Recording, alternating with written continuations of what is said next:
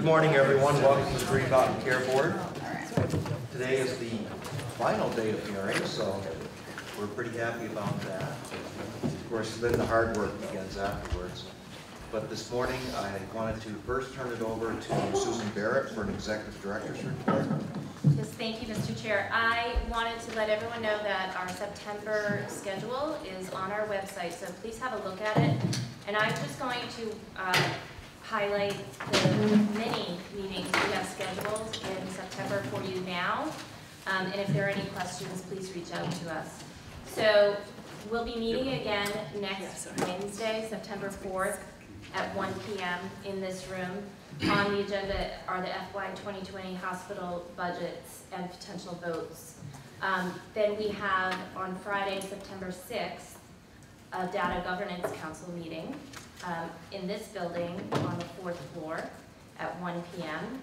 And then we come back to the Pavilion Auditorium here again on Monday, September 9th at 9 AM until noon to, again, discuss FY 2020 hospital budgets with potential votes.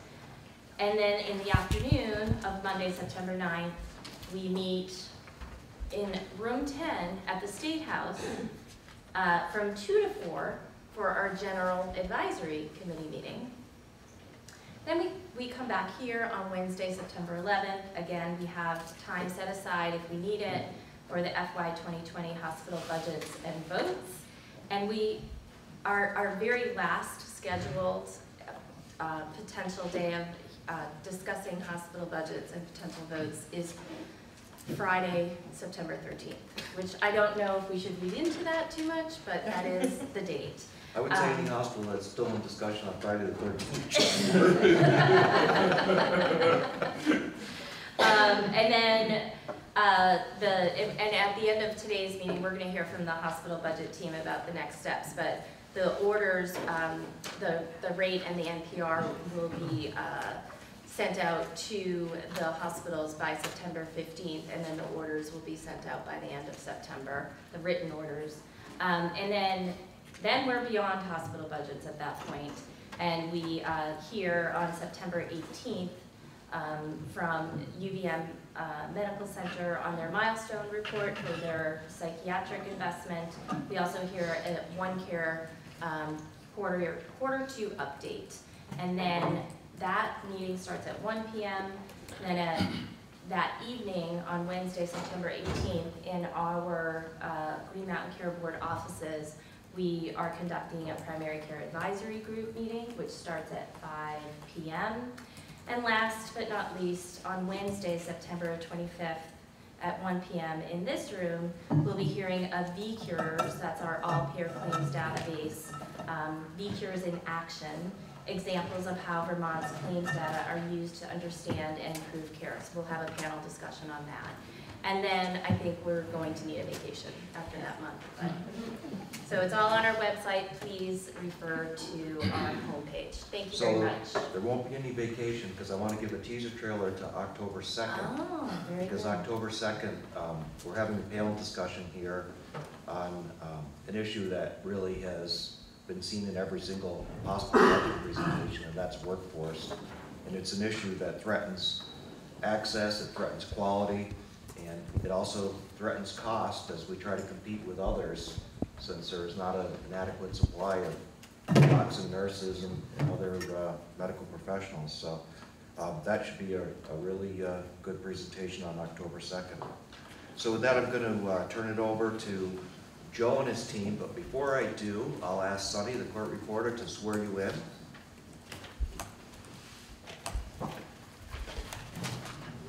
Do solemnly swear or affirm that the testimony you're about to give will be the truth, the whole truth, and nothing but the truth?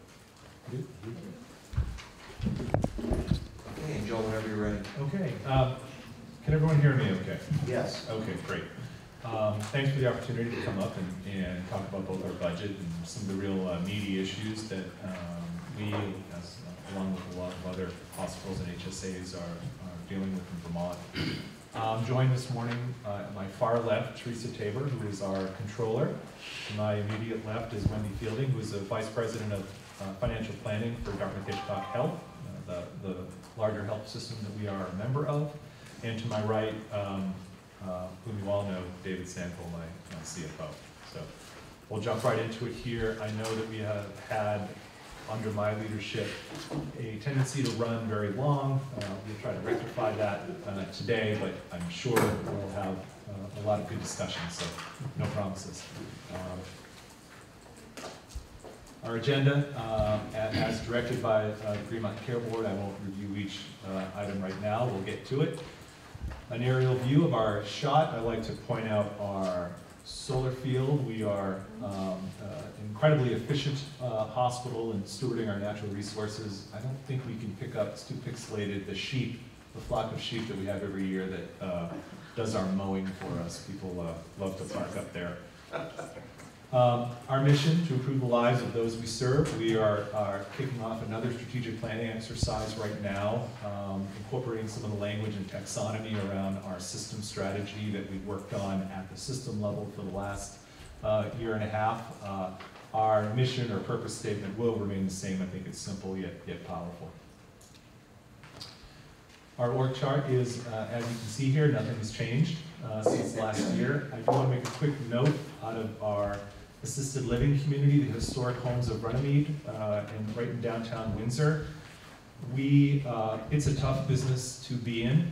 Uh, we found a way to make it work, and I think importantly, especially in the setting of uh, the affordability questions that we have uh, in the state around healthcare and around extended care, we've been able to make it work with the majority of our patients being on Medicaid um, as the primary payer. Part of that has been working with DIVA to get uh, waivers for sicker patients. We found that the trend is, and it's an admirable trend, is that folks are staying at home longer uh, because of wraparound services, 24-hour care, um, and then making the jump immediately to a nursing home, or frankly, to, a- to a hospital uh, when they get too sick. Um, However, that leaves out a, a vast population of Vermonters that don't have the ability for 24-hour care don't have um, long-term care insurance to help pay for assisted living. Um, So we run a, a, a pretty lean uh, operation there, but we've been able to stay full. And when we look at the more, uh, the higher-end assisted living facilities around our community in White River and other places, they're empty because frankly, Vermonters in our region don't have the money to be in a, in an atmosphere uh, or a very high-end um, uh, facility. So I just wanted to point that out. It's taken a lot of work, um, and it was a, a business that I wasn't sure was gonna be sustainable over the long term, but we've been able to keep it going and actually um, uh, get into a much stronger position. So our most valuable assets are our 490 employees, that's part-time, full-time, per diem, and 183 volunteers spread across our three clinical sites, and that's in Windsor, primary care clinics in the, our full hospital in Windsor, our primary care pediatrics and PT clinics in Woodstock, and our ophthalmology optometry practice in Hanover, New Hampshire. I'll make a, a quick note that uh, we recently underwent a system-wide employee engagement survey with Press Ganey. Um, Every system member of Dartmouth Hitchcock Health, Health went through it, and we had the highest employee engagement scores of any facility in the system, and we're in the 85th percentile nationally on our engagement. So um, I think we are being seen regionally as uh, a strong and stable uh, place to work that cares for its employees, and uh, shown through on that survey. I'd say the most, the best part of the, of, of our individual surveys was that um, in the patient safety and quality module, where there were a number, I want to say somewhere between 10 and 15 questions about the culture of safety and quality at the hospital. Uh, Every single respondent from our hospital uh, checked the uh, agree or strongly agree box. There was not one dissenter, no one was even neutral. Um, It's a a culture shift that we have focused on the last five years. Um, And again, became, uh, was very apparent to all with our survey results. So since 2014, which is when the ink uh, dried on our uh, affiliation agreement with Dartmouth Hitchcock, we've had about 6,000 referrals overall from all outside hospitals and over 5,100 just from Dartmouth Hitchcock. We've had over 1,700 admissions for post-acute care to our swing and acute rehab units and about uh, just under 1,500 admissions directly from DHC. Year-to-date, in- of- as of June of nineteen, our average daily census was twenty point one on swing and acute and eight point three on acute rehab. Those numbers are very similar year to year. We, we built out our capacity in the last few years and have been able to, uh, uh, stay at about those levels. Quick summary of this slide is there really is, aren't any sections or departments in the hospital where we aren't actively working daily on system integration. Um, I, I've uh, said this at prior presentations here. Um, It's not all rainbows and unicorns. The- We've had our, our bumps and bruises with integration, but overall, it's been an immensely positive experience for our hospital. I think our general stability in the region, um, uh, financially and clinically, um, bears that out. Uh, Being part of a larger health system has allowed us to enter uh, you know, risk programs uh, with uh, One Care Vermont, uh, knowing that um, we, we, we've got help if we need it, um, and that has been reassuring.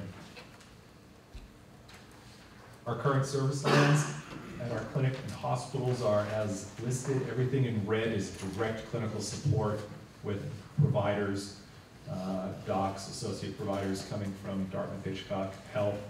We are hoping uh, by the end of the year to compl- complete a joint recruitment of a neurologist to help us serve our acute rehab patients. Most of our acute rehab patients are uh, uh, patients that came to us from Dartmouth Hitchcock Health with traumatic brain injury uh, after a, a stroke or some debilitating neurologic disease, and we uh, we waste a lot of time and money putting people in ambulances to get them back up to the neurology appointments at Dartmouth Hitchcock. So, working with their section chief Jeff Cohen, uh, we've identified a couple uh, physicians who uh, hopefully will be bringing to the area and spending time at, uh, at Mount Ascutney. Um, what you don't see up there are uh, really many surgical subspecialties. Uh, it's still not our, um, uh, really not in our portfolio at this point, um, which, as you might imagine, can make um, uh, revenue uh, challenging at times. Uh, there, I don't have a couple orthopedics or neurosurgery or, or other surgeons that are, um, you know, make, making hay for us in the long term to help cover up our warts. So uh, our challenge is make sure we don't have any warts, make sure that operationally we're running uh, lean and uh, uh, keeping our expenses under control. So I will uh, also uh, stick with it before I hand off to Dave in a bit. You can see our NPSR budget to budget growth is seven point four percent and the rate uh, requested goes from two point nine four to three point two and the change as, as listed there at 0.3 percent. Some of the hospital issues we're facing, um, and I, I can't believe I'm saying this, but uh, it seems our workforce issues are stabilizing. Um, uh, in the while, while Dave cautioned me not to say anything, I, I can't help it. I just, I feel like we're in a bizarro world where we're, we're, we're considered, um, you know, we're, we're offering comp packages to new employees, especially lower, uh, employees on the lower end of the pay scale, that are actually better than some of our surrounding hospitals. Um, now, that's taken work over the last few years to get there. Um, but uh, we've never been in this position before. So I, I'm, I'm, I'm, I'm glad. I'm glad we're able to uh, pay our housekeepers a little bit more and get our nurses, especially our nurses, up toward uh, a market range. That said, uh, you know, our performance this year has really limited our ability to make any market adjustments uh, for our folks. Um, and I think we'll, we'll talk a little bit more about that later in the presentation. But we've moved, uh, mission critical positions have been filled by permanent folks. We're less reliant on travelers. Um, you know, we, we, we have hired a few folks from Springfield, uh, a few folks from Valley Regional. There tends to be a, a somewhat mobile workforce that does move around our three hospitals that are all about 20 minutes apart from each other. Um, and regional instability uh, in, in both Claremont and, and Springfield, I, think, has led to some exodus of workers uh, from those regions. Um, as I said, we, we have over the last few years been able to do market merit raises each year uh, for three years and made significant retirement contributions. A lot of that truly was catch up in nature because for years we weren't able to do anything. And I've already mentioned our, our employee engagement scores, it's something we're, we're very proud of. Primary care provider turnover remains significant. This slide is largely a carryover from last year. Uh, we have successfully hired, uh, three new primary care doctors, two for Windsor, one for Woodstock, so that is great. Unfortunately, we lost a primary care doctor in the interim as well, so we're still net positive on FTE as far as gains in our primary care. Um, but we still have about a thousand to fifteen hundred patients that are in the ether out there. Folks were, who previously got their primary care with us, but whose primary care providers moved on. Uh, so our project over the next six months with our new docs is to bring all of those people back into the fold, because we're also finding that, hey, guess what? Those folks are still attributed to us, even though we haven't seen them, or they're, they've been waiting for the new primary care physicians to arrive. I'll comment that we do have wage pressures, as all our, all institutions are desperate for primary care. And we're continuing to try to come up with a, uh, a solution to the physician and provider burnout problem. I, I should say that it's, it's not just provider, but it's also nursing, it's healthcare burnout uh, in general. One investment we did make is uh, we um, brought a chaplain on board for the hospital and increased her FTE, and the work was less around our patients. We had more than enough chaplaincy available for our patients. It was for work with our employees to build resiliency. So we've carved out her time um, uh, to do that work. And we're probably gonna do a small physical plant adjustment in, in our chapel space, which is never used, to become really more of a, a, a, a site for wellness, um, uh, where the chapel can, can help to hold some resiliency work groups. Uh, On the ACO engagement side, again, under, under risk, um, you know, we, we, we- we're dealing with a few issues. Um, I, I thank the Vermont Care Board, the representatives from CMMI, uh, specifically Fatima, and the folks at One Care, um, for helping us work through these issues. So they've been, they've been challenging. Um, and they revolve around the cost report issue that, that uh, you all are, are well aware of. And then frankly, just the, the, the two point two million of, of potential downside risk for our programs in, in twenty twenty. Um, uh, I'll be very honest, our, our, our board, my board of trustees was, was, uh, not willing to go that route. It took a, a tremendous amount of discussion, a little bit of leverage, some, uh, conversations with DHH, senior leadership, myself, all of whom feel like it's the right thing to do to be in the program, to stay in the program as we are now, or all three programs. Um, But our board, with their fiduciary obligation to, and duty uh, to steward our financial resources, we got a lot of pushback. Um, uh, What little hair I have left uh, was significantly uh, decreased uh, over the last month or so, as I think the folks are, at- on my table here uh, can attest to. Um, But the issues are, as, as we know, we have a small end for covered lives. In all three programs for 20, there's probably between five and 6,000 lives. In Medicaid, the example I'll use is we had about 1,000 Medicaid lives in 2018. Uh, One, one pediatric patient who had substantial um, orthopedic surgery at at Dartmouth Hitchcock pretty much blew out our cost, our expense in that year. And if we have our attribution right, that same patient is uh, uh, at an outside hospital in another state uh, and probably um, blowing, blowing out our cost as, as well. Just one patient, it's, it's been a, a- long healthcare struggle for that, uh, for that patient. So that's hard, there's not enough lives to spread that risk around.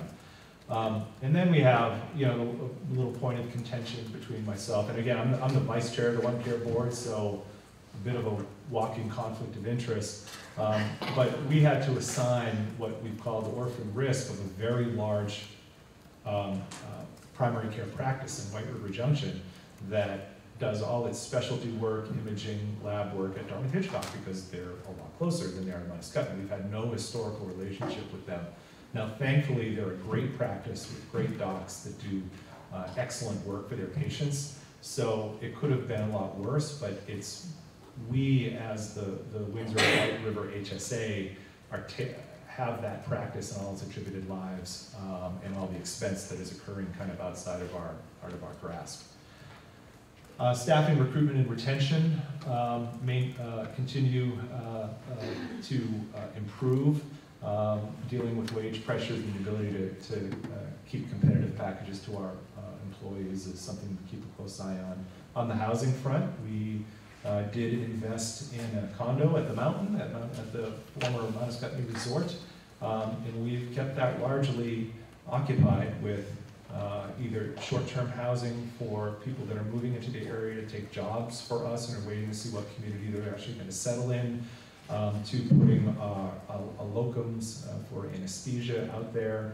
Uh, we also renovated, uh, a building on our campus to create a, a two-bedroom apartment, um, uh, with a common living space, and we've kept that, uh, full at le- at least on the weekends. So I think it's a novel approach to the workforce. We've had to attract some of our technical positions, or folks that fill those technical positions from as far away as uh, Manchester, New Hampshire, and areas south, and and if we can provide them a place to stay for three or four days while they're up here, I think that goes a long way.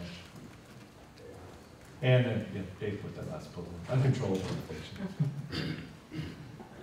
Uh, we continue to balance DHH system needs versus our needs versus ACO needs and, and, uh, uh, state budget guidance. Uh, that's just an ongoing balancing act that, that we perform, uh, every day. Uh, we are still dealing with patients, that stay with us who nursing homes will not take. I put the word limits in there in, in quotations because, um, there's really no limit, it's just uh, self-imposed, we can only take so much Medicaid. And I understand where they're coming from, they've got to keep the lights on and the doors open as well.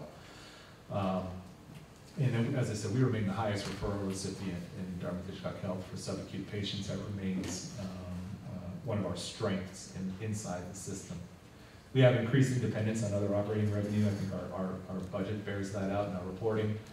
On our three forty B, meaningful use funding, um, healthcare reform program revenue, and then we continue to bring in significant amounts of grant funding year over, over year. In fact, uh, brought in a a substantial grant from the Couch Family Foundation to support our uh, family wellness program, uh, which is remarkable, and I would encourage any board member uh, or staffer to come down and, and take a look at what we're doing for our high-risk families uh, in the Windsor and- and Woodstock areas.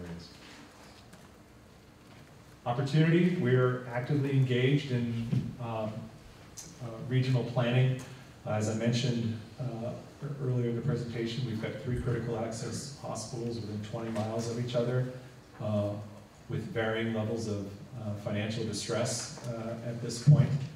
Um, We really have to work on, uh, on uh, a a better model of care for our, you know, 400 square mile region that these three hospitals serve. Um, There is un- uh, unneeded capacity probably at, at, at two of the three hospitals, or I should say un- underutilized capacity at, at, these hospitals. And it just makes sense for us to kind of right-size clinical services uh, and try to find a way that we can get all hospitals, all three hospitals to a point of financial stability and then move forward. And I'll say that Dartmouth Hitchcock struggles to, uh, ex- to extend their services to, to three hospitals. I'll use the example of oncology. They send one oncologist to us, actually one and a half oncologists to Mount Ascutney. They send an oncologist to Springfield. They send another oncologist to Valley Regional. While Dartmouth Hitchcock has a reputation of being this big behemoth, their oncology section can't afford to keep sending three people to three hospitals twenty miles apart. So we, we need to, we need to come up with a better way. And the urgency in Springfield is felt by, felt by all of us, we're all, we're all feeling it. Um, and I'll say that leaders from, from all three hospitals are, are, are, are talking, having active discussions, uh, to figure out how we can do things better. Uh, we are continuing to work on improving our primary care operations, I already mentioned, we, we brought three new docs in. And I'm, it's un- unfortunate that I have to report that, um, a lot of the enthusiasm we had around our pharmacy or pharmaceutical formulary and PBM revisions have not been borne out. It's been, um, it's been slow going. We're gonna keep chipping away at it. We, um, still think that there's a a larger health system solution. We think there's greater power in purchasing as being part of a a larger purchasing group. Um, but we just haven't seen it yet. Um, we're gonna, we're gonna keep working on it. We haven't, uh, lost anything, we haven't really gained anything in, in a year. Um, And again, it's, uh, I, I regret to report that because there was a lot of enthusiasm about that last year. So at this point, I will, uh, hand over to to Dave. So uh, financial health indicators, a lot of my slides are things you've already seen in, in, in other uh, materials that you've received. So uh, there's, there's our financial health indicators. If you have questions, I'm sure we can talk about them uh, later. And uh, same type of deal here on profit and loss statement. Uh, Essentially, we're looking at uh, a one percent operating margin for two thousand twenty. And uh, that's what it is. Cash flow statement, same kind of discussion here, is just really born out of our, our P and L and balance sheet. Um, And then the two thousand twenty uh, balance sheet, uh, slight improvement from two thousand nineteen. Uh, And again, a lot of these things, you know, a lot of our risks and issues are also uh, opportunities and vice versa. And so I will uh, be careful not to be repetitive uh, during the next few slides. We've talked about the, the workforce pressures. Um, We've done a couple things to try to improve um, work situations without throwing money at it. Uh, Joe referenced the on-call space that we have built out on campus. Uh, We now have a couple unique shifts that we're doing with some technical folks.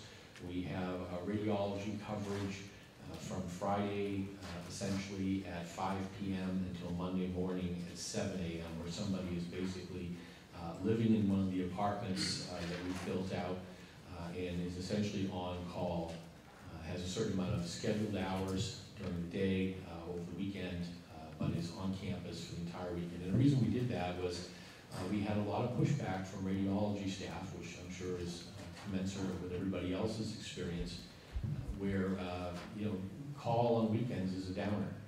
And, uh, and, and, you know, with the weather in the winter, having to pack up and get back in to, to take call for a a CT at two AM in the emergency room, uh, we felt like there was, there needed to be a better way to manage that. So, uh, we built, uh, this weekend coverage model, uh, and, uh, and, and the employee engagement in that department in particular, was very strong in our engagement survey.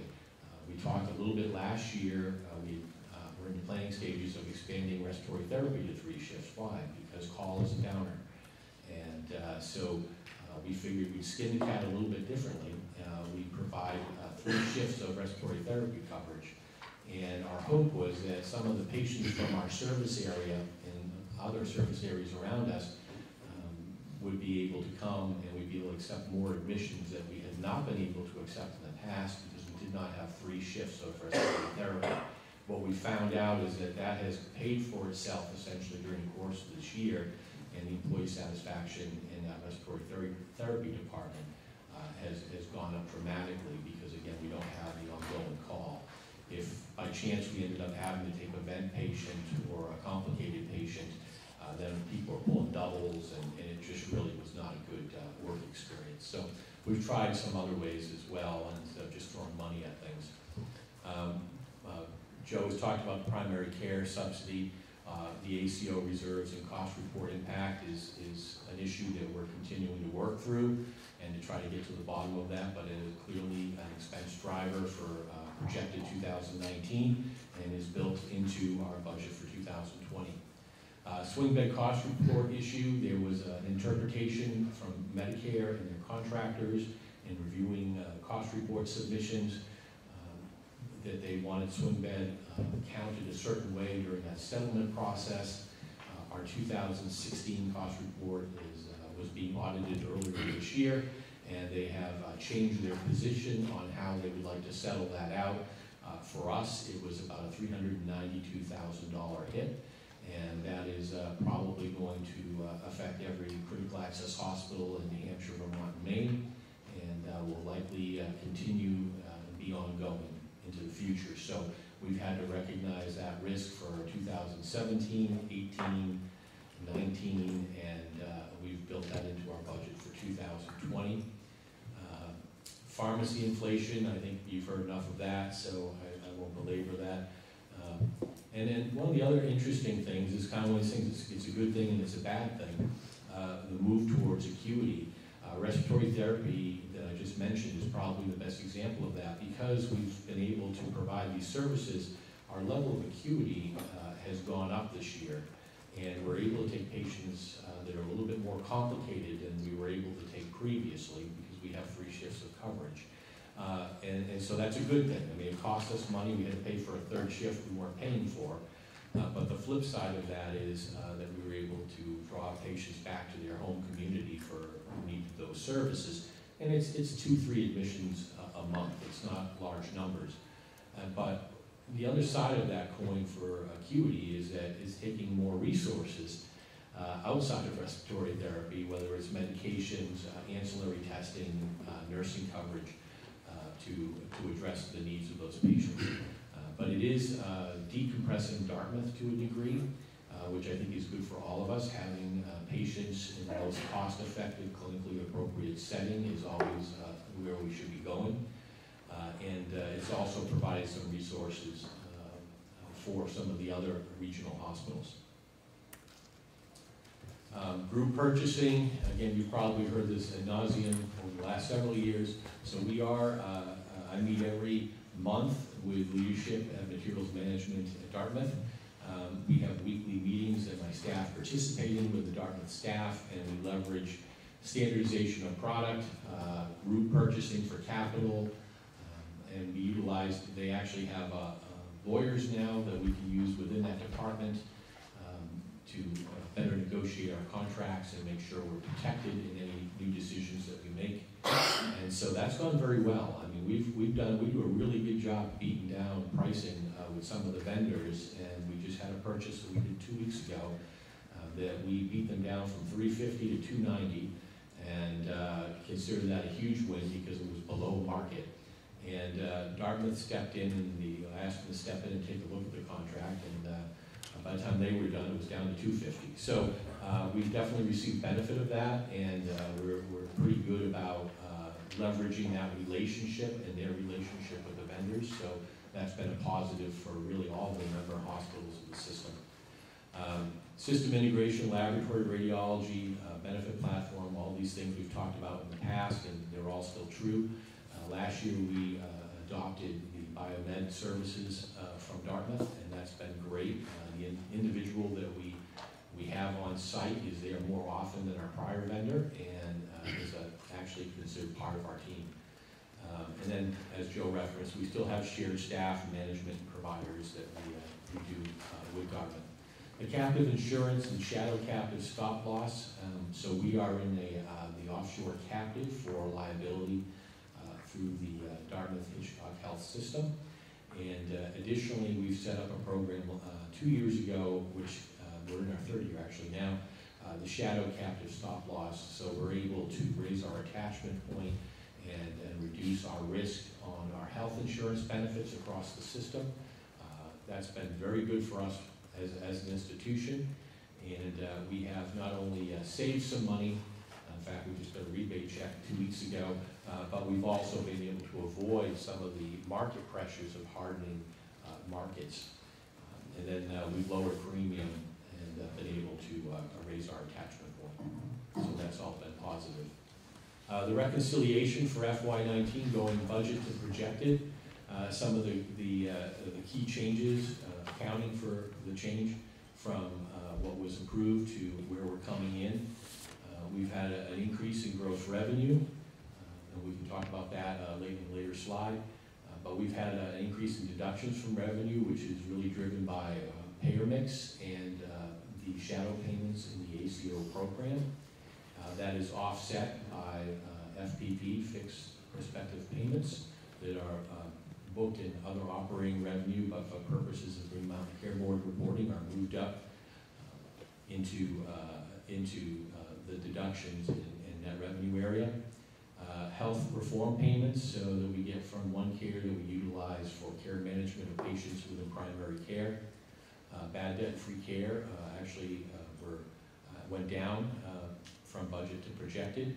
Uh, We picked up about forty thousand dollars in the final DSH calculation, which wasn't available at the time of our submission of budget last year. And then we've just got some little stuff and some rounding. So that gets us from uh, budgeted to projected on that patient service revenue. And on the other operating revenue side, um, really, we've got a, a- a great deal of grant income, which Joe has uh, uh, referenced. Uh, We've, we're, we're pretty aggressive, especially when those funds are, uh, speak to what we're trying to do with One Care and uh, medical home projects and whatnot. So uh, we've been a little more aggressive with that this year, and we've seen a return on that. Um, And uh, really, we've had a big increase in three forty B. And uh, that's, that's something, again, it's, it's good news for all of us um, as far as containing costs and reducing price increase, but it's a little bit scary that we're becoming more and more dependent on uh, something that's not our core business. Uh, Expenses, uh, we have a large reclass uh, in adaptive. Um, We were, we were booking it historically, and so we moved that of one point two million, so it goes out one, back in another. Uh, Purchase labor, just as a reminder, one of the questions uh, from staff, which was a good question, was, uh, well, if your, if your staffing uh, vacancy is getting lower, uh, and you're becoming more of a uh, employer of choice, uh, why was your purchase labor up? And, and what we do every year is, we say, how many uh, travelers do we have for nurses in whatever department? And we estimate their workload in terms of FTEs for the budget. But we take that differential between what it would cost to have them as an employee and the cost to have them as traveler, and we put that amount in purchase labor. And so what happens, uh, earlier in this year, we did have some vacancies uh, back in uh, uh, late fall, early winter, and so we uh, ran over that amount. Um, But uh, we, as this year's gone on, we've, we've trimmed that down, and as Joe referenced earlier, we, we have trimmed that down, but not, not only that, we've uh, got a historically low vacancy rate for our employees. Um, We've had an increase in salaries and fringe benefits. Some of those salaries are, are people that we uh, brought in at higher rates uh, than um, we would typically had them in because of the market pressures that we're experiencing. Some of those are expansion of services. The biggest chunk out of that five hundred thousand is moving to three shifts in respiratory therapy and uh, doing the radiology weekend coverage. Fringe benefits are up, that's kind of actually gotten better the last few months since we submitted our budget. And, uh, um, and so really that's about the only notable things there. And then below the line, uh, we've, we've, this is where we're at with donations and, and the churn of investments and the sale thereof. Um, This is our historical, uh, net operating income budget actual chart, and, um, so you can see that uh, we're looking to do a one percent in two thousand twenty, uh, and we are are projecting uh, a loss uh, for this year. Hopefully, we'll be able to mitigate that over the next thirty days uh, with some clarity and some uh, reserve issues. Uh, This is our cumulative, so, you know, how are we doing over time? Well, we've kind of flatlined, we went down, had a huge uh, trend of losses uh, from 2007 through uh, really 2012, and then we've kind of stayed flat uh, since then with some very small margins. Um, This is kind of interesting. Um, Last year, we came, and one of our key points was how much our New Hampshire business had grown from the prior year. And, and part of that was our swing bed utilization, and uh, being a major uh, referral recipient from Dartmouth for subacute patients of, on both sides of the river.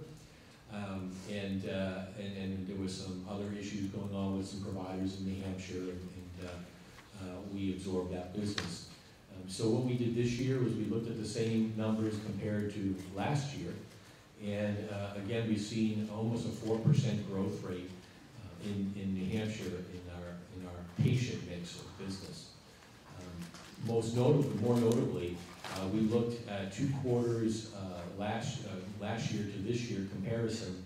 And uh, this, we had a twenty-five percent increase in patient, patient revenue from service area of Springfield Hospital and a thirteen percent increase um, in uh, New Hampshire business. So that's pretty significant, and, and really that's not because we have a super aggressive marketing program. In fact, uh, I'm one, probably the only CFOs who thinks we should actually spend more money in that area. Uh, It seems I can't go up and down the highway for my job every day without hearing about three other hospitals. Um, But, uh, so we're not really aggressively marketing, this is just what's happening organically within the region based on the ebb and flow of available services. Uh, Capital budget, so uh, I'll use the word I use every year, we have the least sexy uh, capital budget ever. Um, And uh, so we, we, we're doing about four point five million dollar of capital. Next year, there are no CONs uh, for two thousand twenty, we should have already filed for that did. Um, But uh, I will give the board a heads up that uh, we are uh, trying to figure out a, a- date to convert to the Dartmouth EMR and their related supporting systems. And so that will be coming up, and that will be a CON level discussion. Uh, We're still working through the details of how that would be rolled out and when, but just so you know that that's hanging out there. Um, Historically, uh, we have been underfunded by capital. We have made great efforts over the last four or five years to uh, get to a normal rate of replacement to maintain our age of plant. Um, We're really just doing routine replacement. There's really not, anything that I would consider a strategic project uh, coming. We are always uh, energy efficient, as Joe referenced earlier. Uh, With any new technology that comes in, we're always looking to leverage uh, the latest opportunity with uh, Energy Star. um, And uh, our biggest issue internally is bandwidth issues. And that is, do we have enough people to actually get the, the capital in place? And uh, so every year, we, we fall short of our capital spend, and, and a, a, an amount of money has to roll over into the next year. And then we roll that into the, a certain amount into the following year. Uh, But that really is our, our biggest issue right now, getting the, uh, uh, the time and effort available with our lean staff to implement new technology or upgrades. Uh, This is our capital spending by department. Uh, You can see that we're really focused, as we are every year, $1.2 million in facilities, uh, trying to get that aging facility up to speed. Uh, And uh, diagnostic imaging, we have to make ongoing investments in that to stay current. And information technology, those are really our, our big three departments. And- And, and again, we're talking about routine replacements for most of this. Um, Key capital items, uh, mammography unit, uh, a new generator for the main building, and uh, replacing our telemetry unit, uh, which we actually started this year, but it will not be uh, in, in service until the next fiscal year. Uh, Rooftop replacements, super exciting stuff. And, um, but, you know, you, if the OR is running too humid or too hot, that's a problem. Uh, So uh, we've done a great, we've got a long-term project that's probably gonna run out five more years to uh, update and upgrade all of those to more energy efficient and more effective uh, uh, mechanicals on the roof.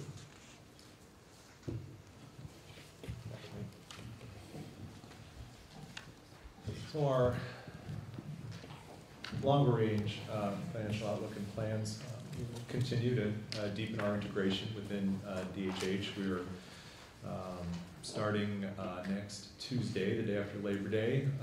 We will be an integral part of the Dartmouth Hitchcock Health Transfer Center, so we'll be able to redirect patients that are being referred into Dartmouth Hitchcock when they're at capacity. We can bring in our docs and referrals office in real time to help these docs from other hospitals that either can't care for a patient uh, or the family's requesting to get closer to home or wh- whatever the issue is. Um, Instead of just having Dartmouth Hitchcock and Cheshire Medical Center be the two main hospitals on the transfer center calls, uh, will be um, uh, in there as well. And it's a obviously a smaller slice of acuity that we can manage um, because we don't have an ICU, but uh, we've got a great hospitals program. They're, they want sicker, more complex patients, as do our nurses. Uh, so uh, there'll be more efforts uh, around system capacity like that.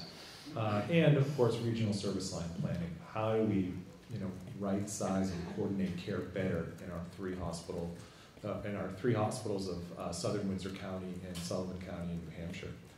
We'll continue to um, run lean and, and manage expenses. Um, as I was on a conference call yesterday was with uh, the Dartmouth Hitchcock Health COO, I said, you know, we're, we're, we're still counting paper clips and looking under couch cushions. So uh, we need this formulary plan and PBM plan to, to start um, uh, bearing some fruit for us. Um, we- we'll continue, when able, to uh, push our, uh, our, our wages and, and benefits to market levels at, at, at some point. Um, sooner rather than later, we will move to the Dartmouth Hitchcock Health platform in HR and, and benefits. Um, that was a, a question I think that was asked last year about our self-insured program and not being in, in one care, and that, that continues to be the reason why uh, we're not there. We're, we're on the glide path. It's a shallow one right now, but it is coming. And we'll continue to uh, improve our recruitment and, and retention, although we, again, as our three hospitals work closer together, we're gonna have to be more, um, uh, more broadly focused for recruitment and retention for our region as opposed to just to Mount Hospital. Um, And again, we, we will reduce pricing uh, of, of services to better align with market where we are outliers. A real uh, benefit of, of our one care engagement is we get HSA variation reports and I review them in detail with um, the, folks at, at, at one care uh, to make sure that we're not falling outside of our predictability. What I can say through the first three to four months in 19, the Windsor HSA is the lowest uh, cost, uh, have the lowest uh, uh, costs for our attributed lives in both Medicaid and Medicare.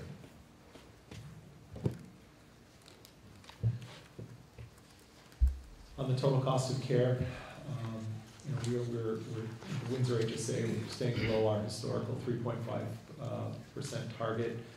Um, However, our limited experience in two thousand nineteen and the lag of, uh, claims data has really made it difficult, if not impossible, to know where we are financially right now. Dave has not had the ability to run an interim cost report because we don't have clean data.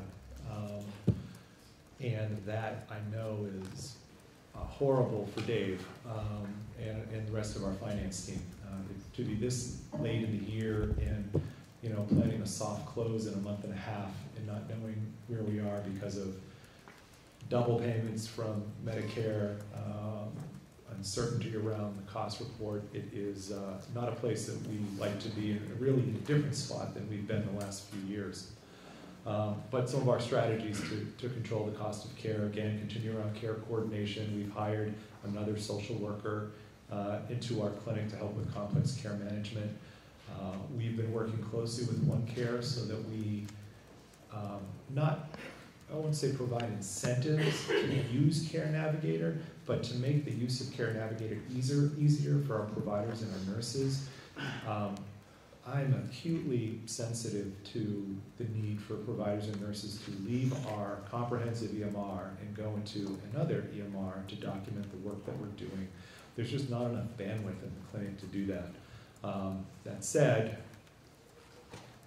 unlike, Dave, we are throwing a little bit of money at this problem. We're gonna hire a community health worker whose job may honestly just be transcription of care planning from our EMR uh, over to Care Navigator, but that's, that's what we need to do, especially with new payment models uh, in One Care starting in 2020. And then as, as, as I mentioned before, we're adding three docs in primary care. And I believe that in care management, um, uh, we, we will lower costs in the long term with better primary care and keeping folks out of EDs and ICUs. And this slide compliant. That's it. We have bonus slides if needed, but we'll leave it at that one. Super, thank you. We're gonna start uh, the questioning with Board Member Holmes. Thank you. Um, So first of all, Joe, I want to just applaud your efforts to work with your board to continue working with our kingdom reform. Know how hard that must have been, and I appreciate all the efforts of your team and everybody. Um, So I actually want to start, I want to understand a little bit better the relationship actually between Dartmouth Hitchcock and Mount Ascutney. What we've seen over the my time at the board, even the last couple weeks of hearings, is that the hospitals that have some affiliation, have some ability to share services, spread fixed costs, are doing better. And it sounds like from a lot that you described, the integration uh, or the affiliation has been successful on many levels, and there's continued work to be done with moving HR and those sorts of things. But let me just ask you, I, I noted in the narrative the uh, emphasis by Dartmouth Hitchcock to help you, the importance that you reach a one percent margin. And I want to understand better how Dartmouth Hitchcock is helping you do that, besides some of the cost savings. So for example, you talked about fourteen hundred and fifty-eight post-acute, uh, you know, referrals from Dartmouth, and the fifty-one hundred referrals from Dartmouth overall. Can you tell me if those referrals are high margin referrals, low margin referrals? I mean, are those, are these referrals actually helping your bottom line, keeping it the same, or Yeah, uh, so Dave and I will tag team on this one. I- it- It's, a it's a mix. Um, Our acute rehabilitation referrals are, are higher margin referrals for us. Swing, not so much. Uh, We, and we also have a third track, and these are the folks that are languishing in DH without a payer, without a disposition plan, that we agree to take down to free up a tertiary care bed in Lebanon. And Dave has worked on um, a, a daily rate that we then just build our, uh, Hitchcock directly for, the system directly for, to reimburse us for that care. And that is a rate, you know, between swing and Medicaid reimbursement, I would say, but Dave can give a, probably a sharper answer there. Yeah, so the, the rate is between uh, a nursing home rate and a SNF rate, and uh, um, I, I wanted to be overly detailed with Dartmouth and bill them according to the level of care that the patient was receiving, and they said, no, just take the two, blend them together, and that's what we're. So a few years ago, we came here, and this was kind of, kind of evolving, and so we had talked about a system allocation payment of approximately one point two million dollars. It went below the line as we, again, we're trying to figure out where services were gonna go within not only the system, but the region. And uh, so uh, we, we, we signed up for that. And, uh, um, and, and so the first year was kind of like, okay, this, we're gonna pay you and it's gonna cover these patients and we'll figure it out. But what's happened is we've gotten pretty good at uh, what we call outstationing or getting people uh, coverage, whether it's through the Medicaid program or the exchange or whatnot. And so we've been able to get people covered. Uh, And uh, so anybody who's not covered and comes from Dartmouth, uh, we still bill them for that rate that, as Joe referenced. And, and so now we're seeing a little bit of a change in, in the mix of patients we're getting because we're actually getting some acute to acute transfers from Dartmouth now, which, you know, again, we're very high Medicare and, and substantial Medicaid. So let's just say sixty percent of our business is uh, paid at below cost technically. And so, uh, you know, I don't know that we have a lot of margin business, period. Um, Uh, we have a, a very slow OR, so we're not getting a lot of that. So, you know, we're really looking, uh, you know, I, I don't think uh, that a one percent expectation from Dartmouth is, is unreasonable on oper, uh, on operations. I think that somewhere in the vicinity of two, two and a half is what a CAH should be able to pull off. Uh, but again, we're still working through these allocations of services within the region. And uh, I think we've gotten better and we're not receiving that subsidy anymore. We've learned to kind of make things work. And, uh, and so we, we're hopeful that that will continue. So, Thank you, that's helpful. As a follow-up to that, you mentioned uh, in the narrative and and briefly here that you beat the financial targets for domestic care, care at your hospital for ACO, but where you owed money was in the non-domestic care. And I'm imagining a lot of that non-domestic care is actually occurring at Dartmouth Hitchcock, Uh, but maybe not all of it. But you specifically referenced the, um, the, uh, the family practice that's sending a lot of their patients to Dartmouth Hitchcock, and that was uh, potentially problematic for you. So I guess I'm also wondering what that backstop looks like. If you're doing well managing the care that you can control, but some of the care is going to Dartmouth Hitchcock, and you're still trying to make your bottom line. So how- Can you help me figure that out? Well, if I, if I could, um, I probably wouldn't be here. I'd, I'd be on the road consulting somewhere, uh, or teaching.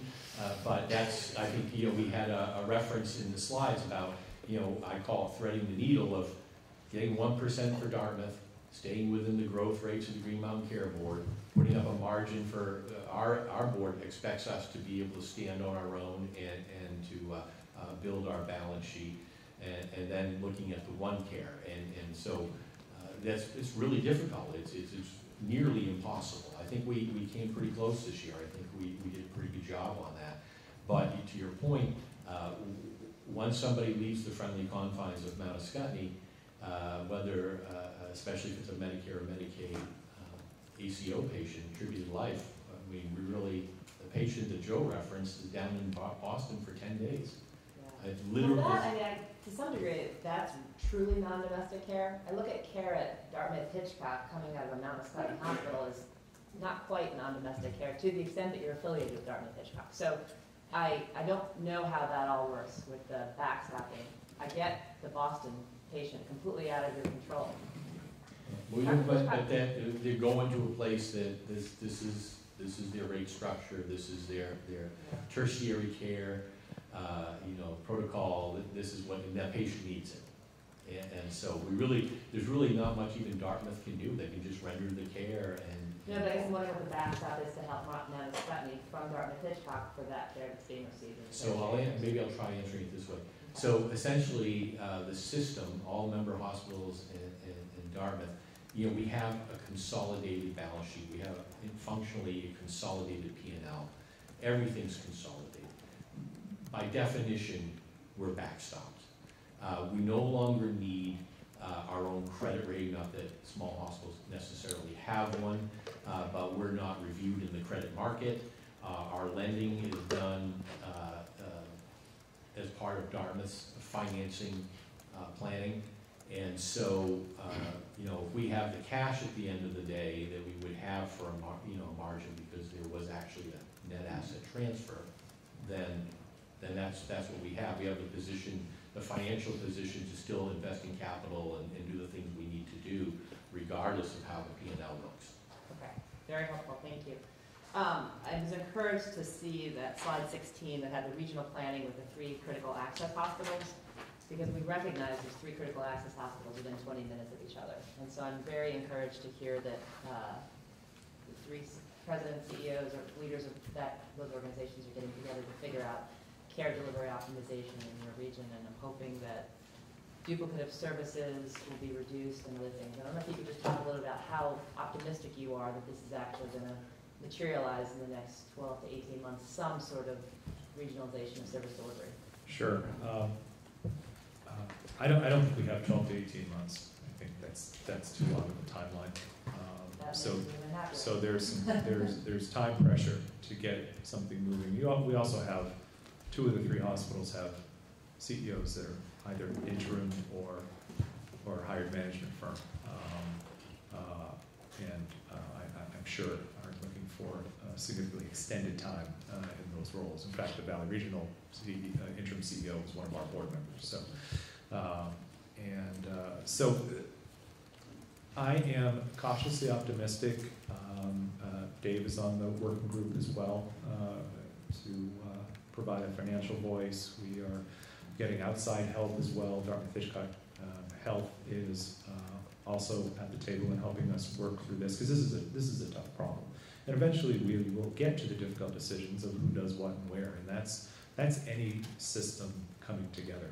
Um, I've counseled folks in the same way that uh, we shepherded ourselves through the Dartmouth Hitchcock affiliation. Is you, each institution has to look inward and and then and, and to determine who they think they are, and then uh, then we kind of all have to agree that coming together, this is who, who we think we're going to be. And really, the the the one issue that um, is uh, um, you know sacred is every every community must have robust and vibrant primary care and good local options for primary. But beyond that, frankly, I think I, I think everything should should be on, on the table. We have limited resources or a limited number of surgeons and specialists who can provide the care. Now, if that means we have to um, come up with significant transportation solutions to help people move between communities, it's not like we are dealing with communities of Weston, Wellesley, and, you know, some other, and and Natick. I mean, we're, our, our folks have a heavy payer mix of Medicare and Medicaid, and we need to make sure we, we serve them. And, uh, transportation between communities can be onerous for them. Um, so, so, we have to, we, we've got a lot of irons in the fire. Um, we have a commitment from all three organizations to, to make this work. I wish we had twelve to eighteen months, um, uh, but we don't. So we're gonna have to come, come up quicker. But This is a conversation that should have been happening, I'm glad it's happening, it should have been had. Yeah, and, and I- I'm comfortable saying that we have been working um, closely with Valley Regional for at least the last uh, year plus. In fact, even a few years ago, looked at bringing our organizations closer together. It just didn't make sense at the time. Um, But uh, Springfield's issues, you know, jump to the head of the line sometimes. I think Dave has comment. Yeah, I, I think uh, one of the things that I've experienced over thirty years in healthcare is we have a lot of these discussions, you know, that they kind of cycle through, and nobody's willing to give up anything at the end of the day, and nobody's willing to take the lead. This situation is a little bit different, because we have uh, uh, two hospitals that, that are not in a good place, and uh, so I think the dynamics of this discussion are a little bit more reasonable. I know Joe's very reasonable, believe it or not, I'm actually very reasonable. And we are looking at shuffling things to the best possible place regardless of, because we're looking at it as total expense, total cost, total margin. We're looking at it from that perspective. What, what, let's make sure care doesn't leave the region, just, it just might be in a different building. And I think the other nuance that I think is helpful in this situation is that Dartmouth is actually looking at what things they could solve with their operations by utilizing the capacity in, in these three smaller places uh, appropriately clinically. And, and so that's a dynamic that I don't think typically happens in these regional discussions where somebody else is saying, hey, we actually may be able to push some other services out that currently we keep inside, but we're, we're compressed. So it's a win-win, and, and I think that's one of the nuances that's gonna, uh, hopefully make this thing work. Well, I applaud the efforts, it sounds like everybody's at the table. Uh, I look forward to hearing about it. So let me, can we talk about your NPR? So the NPR, uh, request is seven point four percent budget to budget, six point five percent over projected. So whenever things are six point five percent over, or anything higher than, say, three point five percent over projected, we worry about aspirational budgets. Um, and then the expenses being as Maureen will probably talk about, so I don't want to spend too much time telling what Maureen's going to go through. But I want to ask you about if you can give us a little bit more breakdown of where this is coming from. Um, so I recognize some of it may be coming from Springfield. So this is NPR that exists already in the system that's basically being transferred. If you could help us carve out a little, I saw the twenty-five percent, I think, was that right in the slide? But some of it may be coming from New Hampshire, it sounds like, some of the patients. These new patients, you know, some of the other hospitals have given us unique patient uh, data to show that actually it's new volume coming in, new, new patients coming in. Um, Is it coming from the three providers, uh, primary care providers that you've added? I mean, I- I- help us to understand a little bit about where this volume is coming from, because I, I get pieces of the story, but I'm not really getting the full story here, and it's, it's a big leap, Mhm. especially since it's a big leap over where you are even projected to be in nineteen. Understood. So this, this uh, um, chart that we actually provided it uh, last year after our hearing because we had a similar but smaller discussion. Um, And uh, this seemed to be well accepted, so we went back to this uh, after we, uh, when we submitted our budget to see, okay, does this pass the straight face test for us? And so, um, looking at the change from budget to budget, that's what we're talking about here. Um, We, we have a, a net patient service revenue uh, increase of three point eight million. And uh, so that's a seven point four percent increase year to year. Uh, And so three point five percent is what we were allowed, so if you take that off, we get down to two million. Out of that remaining two million, five hundred and twenty-five thousand uh, was, is, is New Ham, is associated with folks coming from New Hampshire. Now, whether that's a referral from Dartmouth, uh, because it, it, it's, uh, the services aren't available, um, or, uh, something going on at Valley Regional. I mean, Joe can speak to those service lines, uh, better than I can. Uh, but that's the increase that we're seeing based on current trend. And then, uh, other out of state is kind of negligible, it's leaf peepers, right, so, uh, and uh, skiers. And then we've, we've got two hundred and eighty-two thousand, uh, at the time of budget that we, that we had seen moving from the Springfield HSA to ours. And so, uh, that brings us down to about, uh, one point two million dollar growth. And really, the other one point two million dollars is what we're, um, essentially using, you know, to guard against these, some of these ACO issues we're still working through. And Joe and I talked, I mean, we talk at nauseum uh, about this. I mean, it's, it, we talk about this literally every other day. And, and one of the things that uh, we decided upon when we submitted our budget, so uh, July first, was if we're able to uh, um, clean up some of these things with the ACO and get to good, clean numbers where we can really understand where we are, and we can alleviate the cost report pressure that we're feel- feeling currently, we would be happy to revise our, our um, price increase and the, the gross net revenue and deductions to, to remove uh, that million dollars, which is really the bogey we're looking at. And if you look at the one point two million dollars, again, we're going net patient service revenue, net patient service revenue. Six hundred thousand is our one percent margin, right? So, um, so we're really, at the end of the day, looking at five hundred thousand dollars that we're associating with the ACO risk at this point, based on our current understanding and resources. Can I follow up on your question? Yeah, you can. So, if you go back to the slide that um, showed the Q three to Q three, you say two, three? Q three, Quarter three comparison. Yes. sorry, I'm losing my voice. There you go. But it, in your answer to Jess, she was basically pinpointing the fact that, um, what your projections are for the end of this year.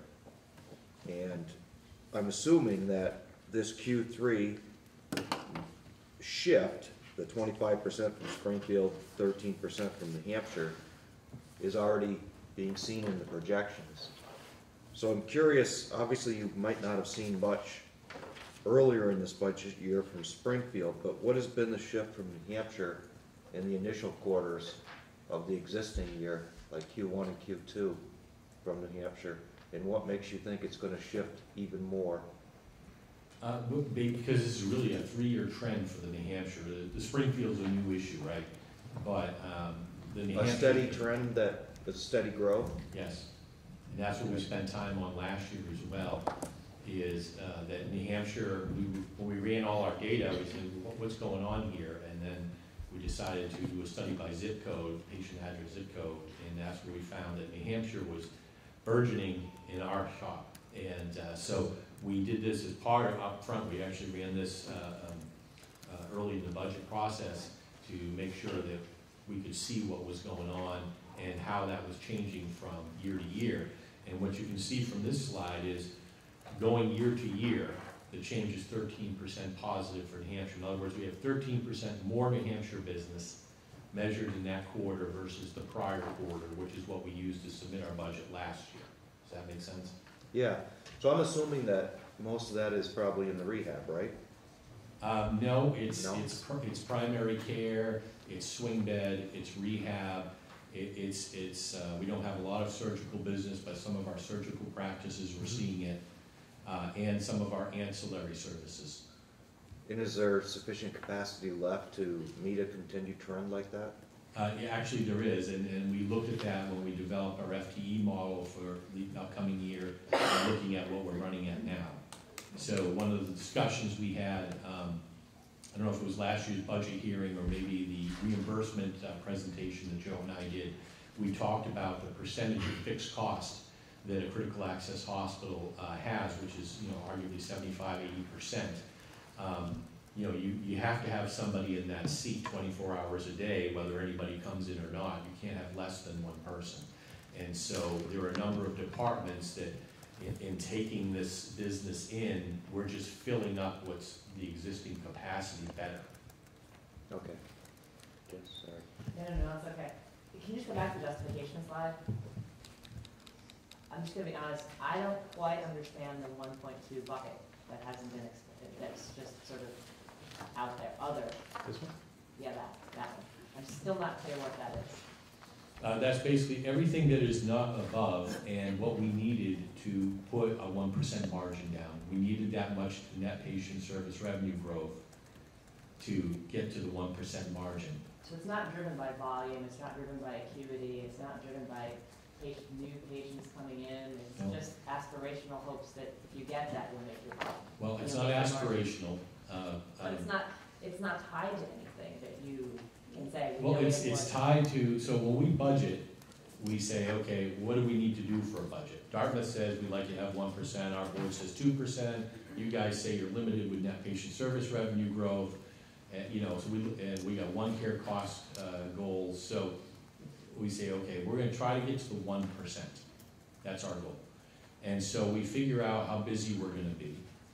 We take, uh, um, the necessary expenses, FTEs, paper clips, whatever, and we determine how much it costs in stuff and people to deliver that volume. And then we look at our contractual rates, our reimbursement rates historically, and we back into the necessary price increase to get us to that one percent margin with the infrastructure that we need to deliver those services. And so that's, that's, that's how we, we, that's how, that's how we're doing it. So in order to cover um, the uh, risk that we perceive in the ACO and to put a one percent margin, that's kind of what we're talking about for the one point two million. But we, we always start with the end in mind and work backwards, and the last thing we put into our model is the price increase, which does have an effect on uh, net patient service revenue.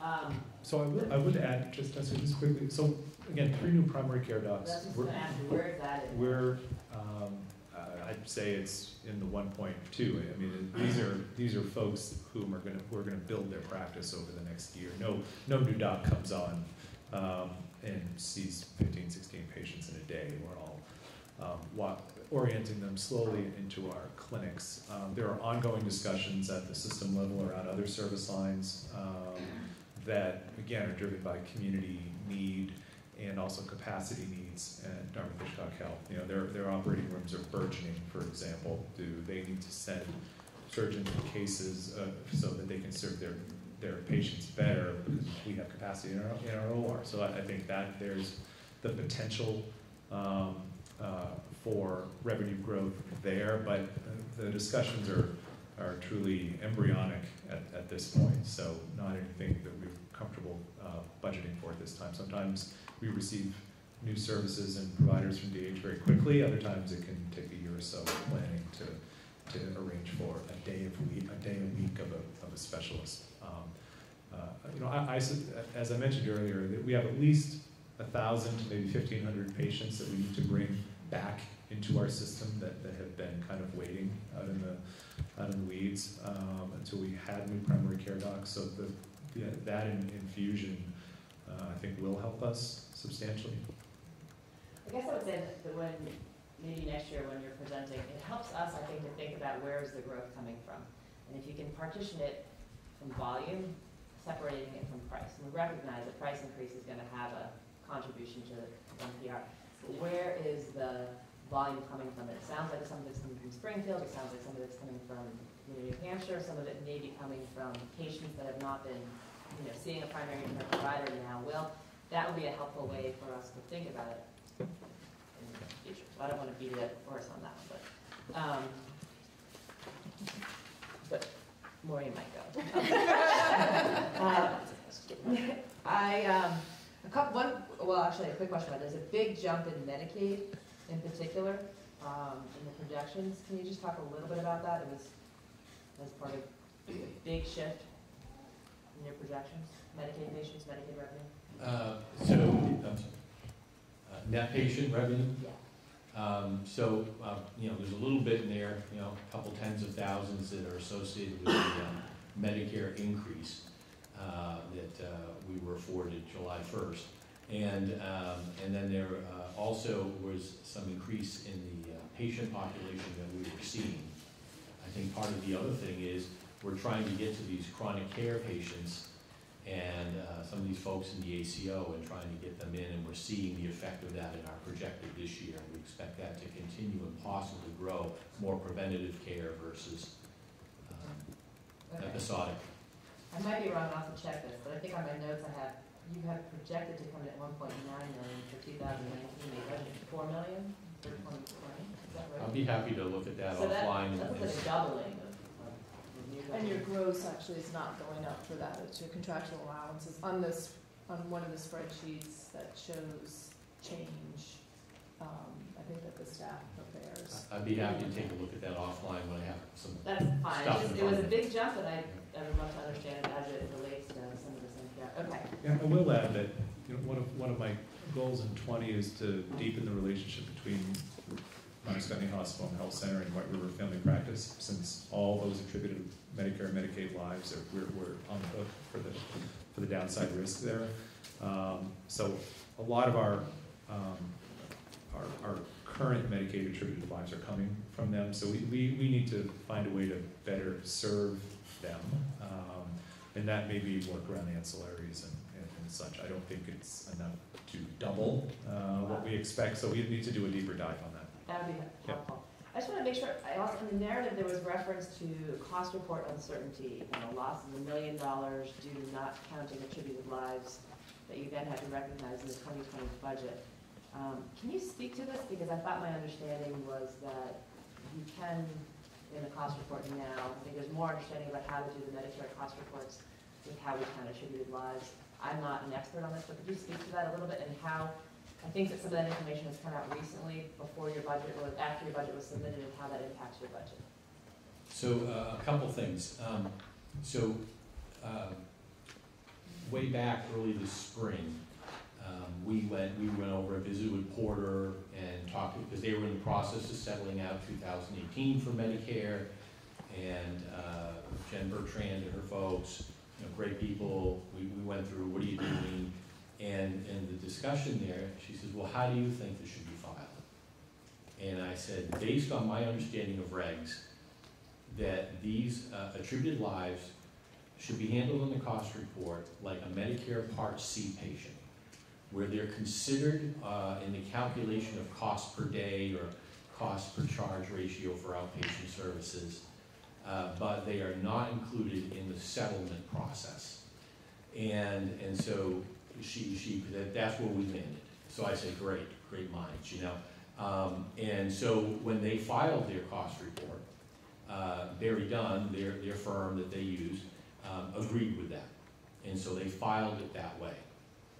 And then when we started doing it as part of our budget process, um, there were two aspects of it. One, there was no clear um, reg that spoke to this.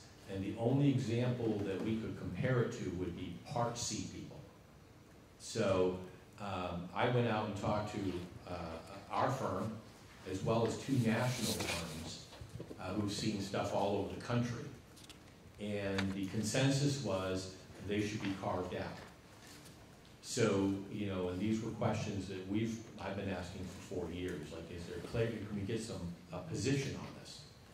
Um, So, as I tell, uh, as I told our board members, we labored through this discussion, I can file my, my taxes at the end of the year and tell the IRS I'm entitled to a million dollars coming back. Uh, but that doesn't mean I filed my, my taxes correctly, or that they're going to actually pay me a million dollars. So, uh, as we, we, we try to pull this together as part of our normal budget process, do an interim cost report, we realized that, uh, the PS&R, uh, which is, uh, basically a reimbursement report, where Medicare shows they paid on what patient for what service, um, during a given period, um, there was, uh, the, the shadow payments were not reflected, uh, for the first quarter. We found out that they were paying us fee for service, uh, when they should, we should have been getting that in the fixed payments, or we're getting it in both. Uh, so we really couldn't even estimate Medicare's side of the settlement process. So we went back into the cost report, started talking to everybody, and, uh, determined again that there's, there's no clear direction on how to file this. Now, everybody wants us to be able to include that cost in the settlement. Uh, we do, OneCare does. CMMI thinks that it should be included. Uh, the, there was an email that came out approximately a month ago, I believe. They said, yeah, you should be able to do that, basically, I'm paraphrasing. And, and so I went back and said, great, show me where that is, because the only thing that matters to me is regs. You know, because, uh, that thing's not gonna be audited for three years. And so I need to be able to go back and say, I was directed that this is how this is to be filed. And, uh, to date, CMS says, yes, you should be able to, but I still don't have a document. And the people who I really trust in the industry are saying no. So I, I'm, uh, I have an aspiration, uh, that, uh, this will all be resolved and we will get a clean PS&R and be able to generate a cost report with regs that support our action and that million dollar issue, which again is an estimate. We don't even, we, we really couldn't even get to a really solid number like we usually can. I can get to the penny on this thing normally, but I, I can't, you know, well, this is our best guess. Does that help? Does it not help? Well, it does, but if CMS and CMI are right, that you can bring them in, how would it affect your twenty twenty budget? Well, as I referenced earlier, I, would- that million dollars or most of it would go away. That discussion, and that would, that would come with me going all the way back to the, uh, rate increase Right, and reducing that, so, uh, reducing what we would be leveraging the commercial payers for generally, right? And so we would, uh, uh, make most of that go away, and we've been talking about, we're totally open to doing that, uh, but, uh, based on everything that we have for documentation, I, I, I would never get through audit, um, taking a different position. okay. Uh, thank you, helpful. I guess my last question that I've asked every hospital, but I think I have the answer to you, for you is, um, you know, the HCA question was the ratio of commercial to Medicare. You reported that it was one point three, so can I assume then that if on average Medicare pays hundred dollars for a service, your commercial payers on average reimburse hundred and thirty dollars? Is that the Yeah. correct way to interpret that? Okay, I would Thank you. so. thank you. Maureen? Uh, First, great questions, Jess. So I had a bunch of those uh, were similar. Um, I do want to spend a bit of time on the net patient revenue and really kind of going back from the past three years and just kind of understanding some of the one-time things that go on. And first, I want to say, I totally appreciate that there's a lot of new things happening and, you know, with the ACO and with double payments and things like that. And so, you know, I think it's very challenging. So I'm trying to just, for myself, really go back through and understand which years were impacted, what any changes would be. So I know, I think the first one was 2018, which, um, if you go back to, I think, one slide to your budget compliance slide, um, actually on your NPR, you were quite, quite high. You came in at four point four percent above, right, for uh, NPR. So, um, but part of that year, you talked about double payments, I believe, um, at the time. I just want to understand, did those double payments from Medicare get registered, and then later on, you're giving them back? I mean, I understand it's kind of a year-over-year piece, but I guess the first question is, is in 2018, do you think there are any one-time things that maybe artificially inflated your NPR, which we're then adjusting for in 19 or 20? Uh, Off the top of my head, I would say, no, we didn't have double payments in eighteen. We've had that phenomena in two thousand nineteen since we joined the Medicare program Okay. uh, for the ACO. But off the, I mean, I'm, I'm looking at Teresa. Uh, I don't remember any, I can't think any one, one hit wonder from two thousand eighteen that, uh, but I'm happy to go back and take a look at it. And then uh, the other thing you did talk about is the swing bed piece, which I think you said was reconciling like for three years, like 17, 18, and 19. And were there any one-time impacts of that in 19, adjusting for the prior years then?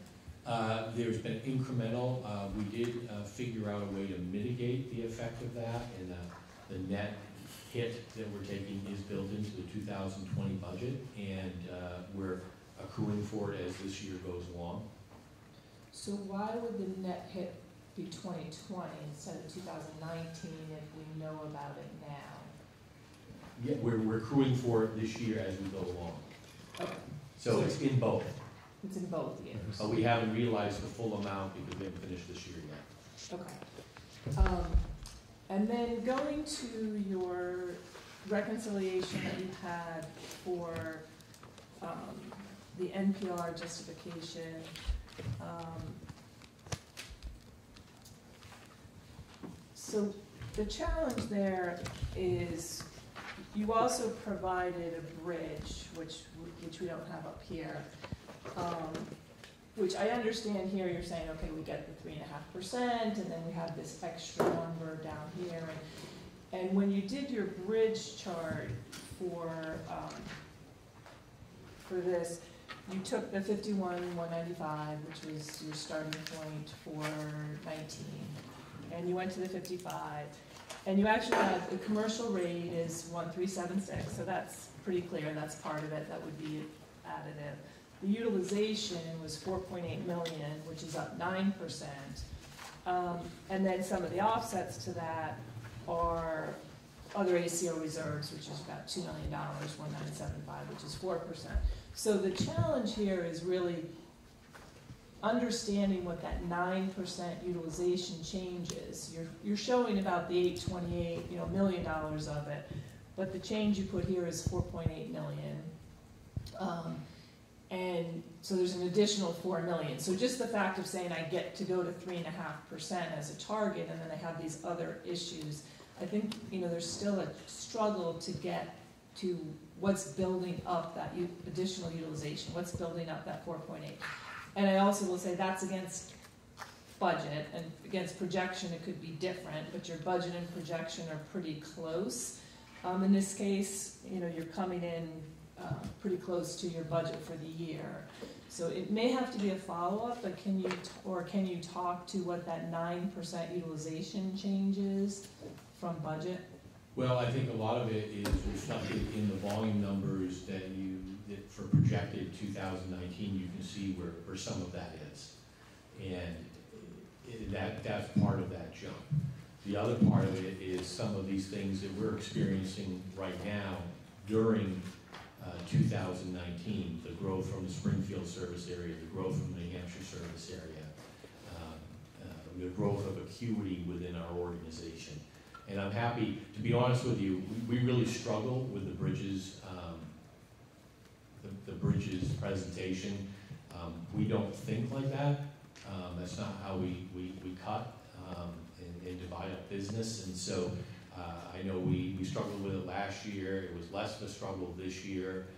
Um, And, and, but I'm happy to go back and, and do whatever is, is needed on there to make it more clear. Because this, this slide this up on the screen now clearly doesn't cut the way the bridge cuts.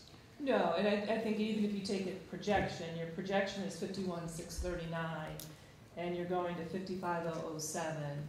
Um, in both of those years, you have a reserve for the ACO, so the net change of those is about a seven hundred thousand increase year over year. So, I mean, that, that to me is an additional, um, NPR before you get to the reserves, because you, you very well could hit the numbers exactly dead on, right? And then you're projecting in two thousand twenty, about a two million dollar reserve for the ACO for hundred percent of the downside risk.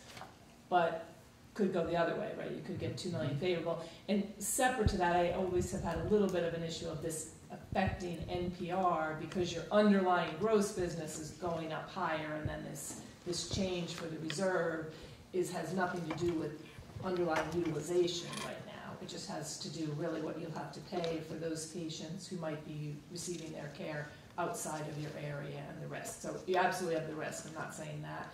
But you actually have a higher year-over-year change in your NPR when you adjust for just the impact of reserves. Yeah, and, and, you know, one of the things that, you know, and Joe and I have talked ad nauseam about is we're taking the most prudent accounting position that we can right now based on the available information. And so we've gone back and forth with our uh, auditing firm, we had about, um, a few weeks ago to kind of go over these reserves. Because in theory, I would agree that we're over-reserving. Yep. But, uh, the, the key standard is, is it probable and is it estimatable? And right now, for us, neither of those can be accomplished. And so, again, as some of these issues are cleaned up, then I, I'm happy to go back and revisit. And I think that it, we'd like to all separate that risk from, uh, you know, the net patient growth discussion, but you can't. They're, they're, they're, they're dovetailed. And so, um, and it was very, it was very arduous to, to go through this process and come up with what we thought we could stand on. And, um, and, and, you know, I, I'm happy if we have to revise it, I'm not happy. But I'm willing, I- I'm willing to do additional budget work, uh, even if it were, you know, whatever, the middle of October, if we're still languishing in some of these issues. Uh, I'm happy to do that. And, and again, Joe knows this, and, and folks have been here a while. I don't come in with made-up numbers. This is as close to made-up numbers as I've ever presented anything here, ever, all the way back to BISHCA days. You know, uh, because we're so uncertain. We can't even, our own internal modeling, we can't get to the number. This is the first time in literally twenty years that at this point in the year, I have no idea how I'm gonna really finish. And I think, you know, and you're highlighting, big challenges with the reserves, and I know we're all learning in this, and it's interesting because, you know, the hospitals are running the spectrum on how they're accounting for that.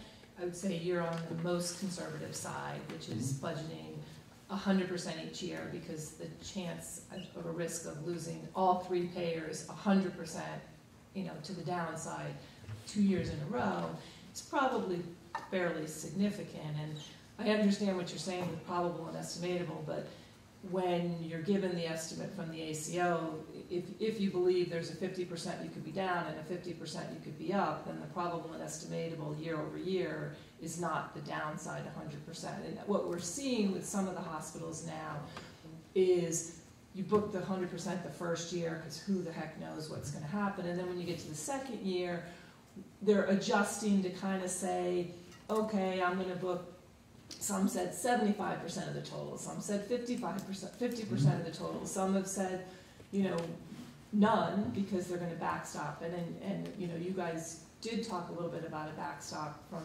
Dartmouth, which, you know, many of the other hospitals don't have, but if there's such a backstop, then, you know, and as we learn, sometime in two thousand twenty, we'll have a resolution for what happened in nineteen, um, you know, at least directionally, what's going on with nineteen, and then twenty will still be out there. So I don't know what the right answer is for sure, and I understand what you're saying, your auditors are saying, I've also dealt with a lot of auditors, and you can talk to them about things and say, Okay. look, we did hundred percent this year, we're not gonna do hundred percent second year. So, but- so, and I agree, I don't disagree with anything you just said a- at all. But I, uh, we had, we did not even have a two thousand nineteen budget, uh, when we came here last year for, and we kind of, we signed up in good faith, right? And, uh, so we're, we don't have a history. Our history started January first, and our history started with double payments. Right, And, and so it's, it is literally impossible for us to parse this data out to, a- in, in a way that we feel comfortable, forget about the auditors. Um, and, uh, so we're, we're, we have no history. Uh, we've spent so much time working on this that we really haven't even had a chance to go back and look at the baseline data for the model that estimated the risk from One Care Vermont. It's fine as far as I know, but I don't know if that was, people were just healthy that year, or those three thousand attributed lives were healthy in the base year compared to normal years. I have no idea. So, um, we have taken a very conservative position. I would be happy to back off that position and for the good of everybody.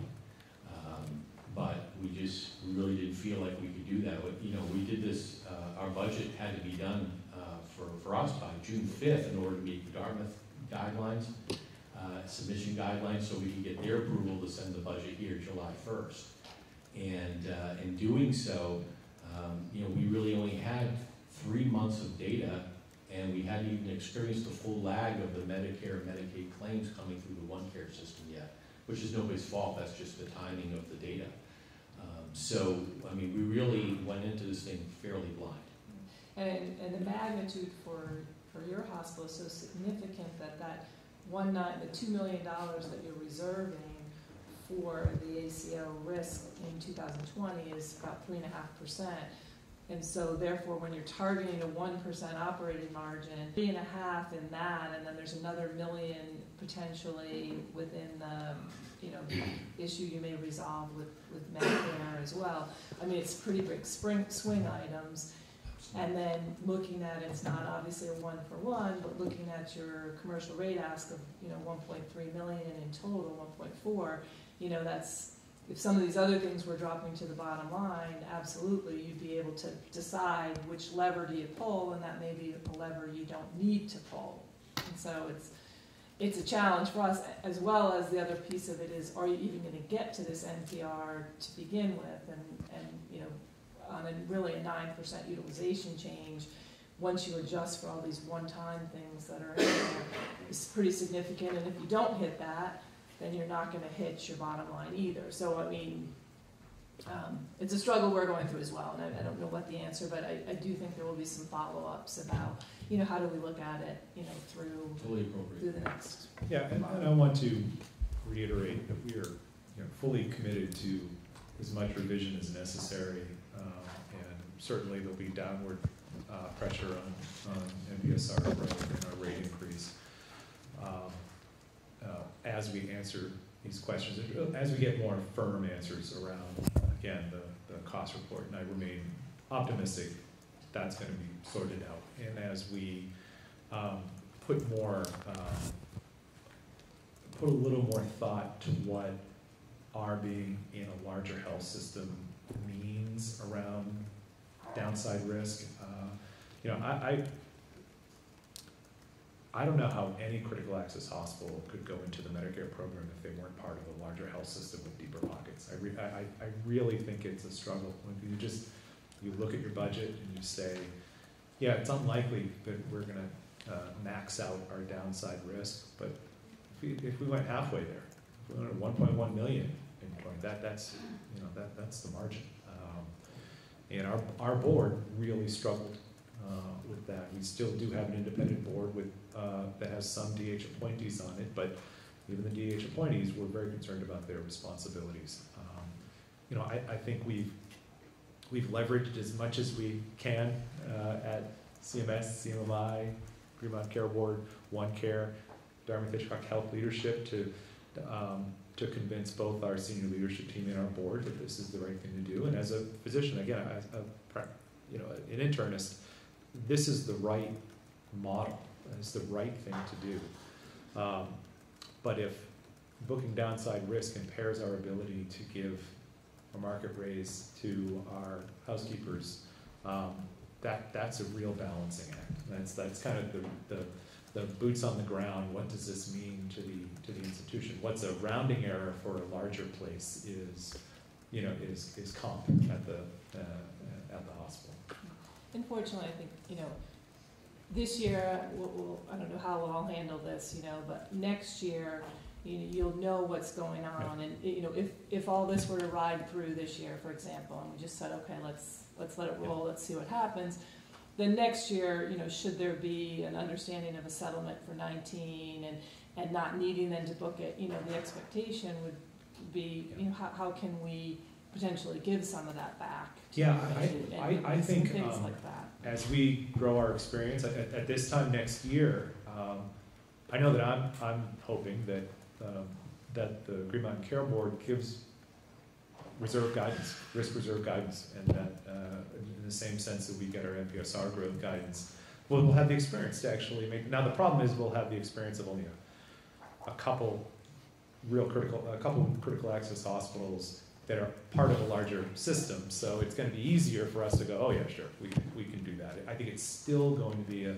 a struggle for the smaller hospitals to, that jumped in. And, you know, to be honest, it's, it's, it's hard for each hospital to do it individually, and, you know, for us to try to give that reserve guidance on top of what your auditors are gonna also be telling you and instructing you to do is a challenge as well, so. I- I But it's something we're definitely looking at, too. Yeah, I, I think, I think we need to, um, just find a band of reasonableness when the dust settles. Yeah. Uh, that we can all live with, and, and I think that's really, really where we need to go. But at the end of the day, in order for this healthcare reform, uh, program to work, it, it needs to be doable for every hospital on, on its own. Yes. And, and really the system discussion, while we support that, you know, at the end of the day, um, you know, any hospital participating in this should have a fair and reasonable chance to at least break even on this thing, right? So, um, you know, the, the system allocation payments and things like that, to me, fly a little bit in the face of, this should just be a good program and should work clinically and financially and otherwise, you know, for regular work. That's where we should all be shooting, and again, we're all figuring it out as we go along.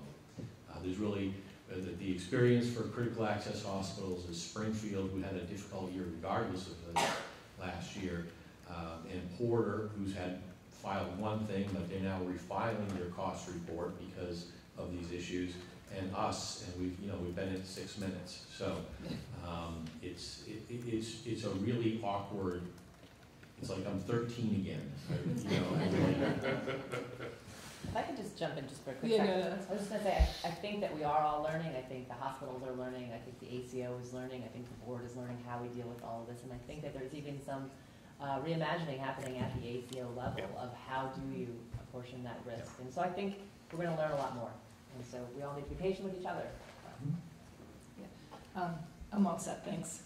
Jess, well, no, Jess covered my other questions about, about swing beds and cost savings, things like that, so, thank you. Okay, Tom? It seems that we have three board members that were thinking alike that probably could have designated one of us to ask these questions. I, uh, I too look forward to clarification. I, I can look at um, this document that's, that's on the screen and see that, you know, that uh, the two line items allowed three and a half percent uh, NPSR growth and the other NPSR growth add up to two point nine eight million, which is seventy-eight percent of the, the delta between the year. Um, But it's really not that well specified, so when I go to bridges to see how things move, you know, I can see the kind of, the, the kind of uh, weeds that we're all kind of struggling through in terms of movements from reimbursement to uh, other ACO reserves to other FFP. Um, So, uh, you know, I, I kind of went to the, um, uh, kind of the, the- the major columns, and I look at chart you have there and see that Medicaid out-of-state moved from uh, three hundred and forty-five thousand to eight hundred and thirty-five thousand, which is a forty-one percent increase, and I'm thinking, okay, well, maybe that's New Hampshire, you know, you know, coming over. And then, um, looking at, uh, the Vermont Medicaid number going from one point five uh, million to three point two million, that's a hundred and fifteen percent increase, which is a, a big number. And, um, and then looking over at commercial going down from twenty million to nineteen point seven million, and I think cost shift. You know, you're, you're, you've got uh, an increase in Medicaid and a decrease in commercial, and so how does that relate to the cost shift? But I think th- this horse has been beaten enough, and, and, and, and I, I'll move on. Um, I do, uh, kind of want to get maybe your insight into how you feel the transition to under the all-payer model might affect the cost shift one way or another. Well, I think if the experience is unfavorable after all that settles, um, which is not what two thousand eighteen came out to be, as I understand it from the folks who participated in, uh, at least two of the programs in two thousand eighteen. If that experience is unfavorable, it grows the the, the cost shift. There's, I mean, the cost shift is a seesaw. Um, you, you, you can't push down on one side without the other side going up. It's, it's, it's inherent. So, um, you know, I, I think, you know, if we do well in this program by containing costs to render care And, and we do well against the medical expense targets for the system, and we're rewarded for that, then that takes pressure off the cost, uh, the, the cost. Um, I was looking at, provider tax increase, uh, going from one point seven million in twenty eighteen to, uh, two million in twenty twenty, which is a fourteen percent increase over that two-year period. Is, um, is that, uh, what, what's the basis for that calculation? It's, it's the basis that they use to calculate the provider tax. So when we finish our budget, we look at the net revenues that are included in that tax, we multiply by the six percent max. So is that, is that your number, or is that the one DVHA, did, did I'm sorry? DVHA give you the number? Can you, can you say that again? So, so the provider. Just hold off a second, Tom, could you repeat the question? Um, I'm just wondering if, if, uh, my understanding is that some hospitals have received a number based on prior year, uh, audited financial statements as to what, what to expect for a provider tax number. Um, so, but this is, you're just applying the six percent rate. Yeah, we're using the same methodology that DVHA would use, um, and we've just applied it to our budget projection. Um, this is kind of a more contextual question. Uh, I've wondered as I've listened to these hearings, as people talk about the aging of Vermont, um, and thinking about Jess's question in terms of if a Medicare payment was a hundred dollars, what would the commercial payment be and what would the Medicaid payment be? And so as Vermont ages, people, a portion of folks will be moving out of Medicare as their primary source of insurance into, out of Medicaid as their primary uh, source of insurance and into Medicare. And is that, is that a, um, uh, a substantial migration in terms of uh, payer mix? So you're, you're correct, that if folks left the Medicaid program and went into the Medicare program, um, our reimbursement as a percentage of charge would, would improve. And for a critical access hospital, that would probably be diminished by cost per unit going down. So the answer would be somewhere between where we are and where we would be. Does that make sense? Yes, that's.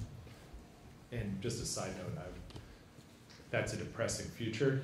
Um, if we have a substantial amount of Vermonters who transition their primary payer from Medicaid to Medicare, I think that's a, that's a larger statewide, non-healthcare issue that we need to, we need to address. Uh, that, that, uh, that's not a sustainable model for statehood, I would say, if everyone's on Medicaid, waiting till they get to Medicare.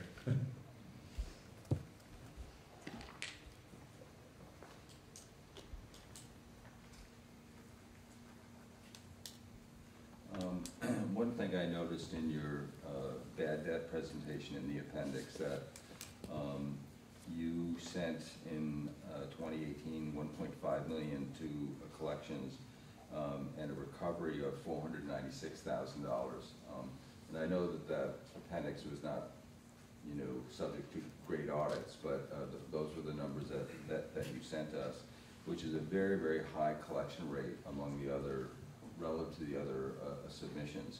And I'm just wondering, um, in your awareness of your bad debt um, uh, financial aid program and other hospitals, whether or not you do things uh, that are different uh, than your peers.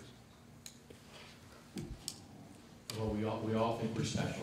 And uh, um, we, we have, uh, when I got down to Mount Ascutney, I had a lot of preconceived concepts of how financial counseling, free care, and bad debt should be administered.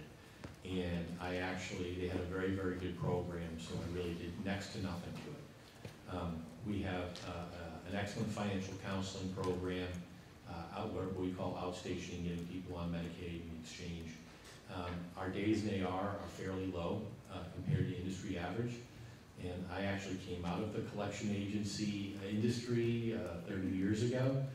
Uh, Don't hold that against me. Uh, And uh, um, one of the the metrics we used to use back then is you lose 10% of recovery every month on self-pay dollars. And so if you wait 30 days to bill, you just lost 10% doing nothing. And uh, so uh, because we tend to operate gross days around 36, 38, 39, right in that range there, I think part of the benefit we're seeing that uh, um, that we're getting to that, uh, that person a little bit earlier and reducing that erosion, that's one thing. The second thing is, once you have a consistent process in place and you stick with it, quite frankly, uh, folks are, um, it's trained, sounds like a horrible word, but they understand that's the process and, and they, and they work with it. And the last thing is, um, you know, I, I had a similar experience at Gifford for, for many years, and, uh, folks around here pay their bills. And so I can't talk about what's going on in Newport or St. Johnsbury or, or wherever, but, um, we, we, we keep our, our, um, self-pay and, and financial counseling people busy, taking phone calls and working through issues and, and and helping people out, so, um, I think we've got, kind of- I, like, I don't even mess with it anymore, I just let the thing run, because I'm just gonna mess it up, it works really well right. We have payment arrangements, uh, that we extend to people, I don't know if that's any better or worse than any other organization, but, um, we've provided some different ways, uh, to encourage people to pay and make it easy for them to pay. Gifford uh, is also yearly in terms of uh, kind of exceeding uh, the collection rate uh, among their peers, so. I'll take credit for that one too. Um, I think that's it for me. Okay, Robin. Thank you. Um, I had a, I'll start with a couple of clarifying questions. Um, uh, I was, I just wanted to clarify, uh, one of your answers to the questions about the one percent change in charge. And so you indicated, um, the, that your calculation and our staff calculation was about the same at four hundred and thirty, but the value of the charge increase was two hundred and, two hundred and that, is that because about twelve percent of your reimbursement is charge-based? Is that the difference between that gross number and the value number that you included? The- only question uh, that I can think of from, from the materials was, what was, what's your calculation of uh, one percent, the net value of a one percent increase versus Green Mountain Care Boards? And the, and the answer that I recall in my head was that the difference was the consideration for DSH. Is that the question you're referring to? Yes, but your last sentence is the value of one percent gross increase in charge request is equal to two hundred and two K. Yes. So that would be the net value of one percent. Because twelve percent of your reimbursement is charges as opposed to other fee schedules and stuff like that. I'm just trying to get at the why. Well, we don't, we I, I, we get paid charges on next to nothing. Every, it- we, we get a reduction on all of our, all of our billings. So, uh, but yeah, that's, I mean, it's what's left over, yeah. Okay, but I just wanted to make sure I was understanding the, how the math worked. Um, I was also noticing in um, the One Care reports uh, about the total cost of care that while, as you said, your uh, overall total cost of care is quite low, that you were on the higher side for advanced imaging, and I was curious if that was really you, or if that was really more driven by DH, or Um, it's both. Um, The uh, most prolific orderer of advanced imaging uh, in our HSA is one of our internists. He's also the only 1.0 FTE internist with the largest patient panel, so some of it does track. Um, But the, the, uh, the docs at uh, White River Family Practice are contributing to that uh, as well. Um, I had a, a long discussion about the utilization uh, disparities with Megan Johnson from One Care, uh, 101, walking through the data.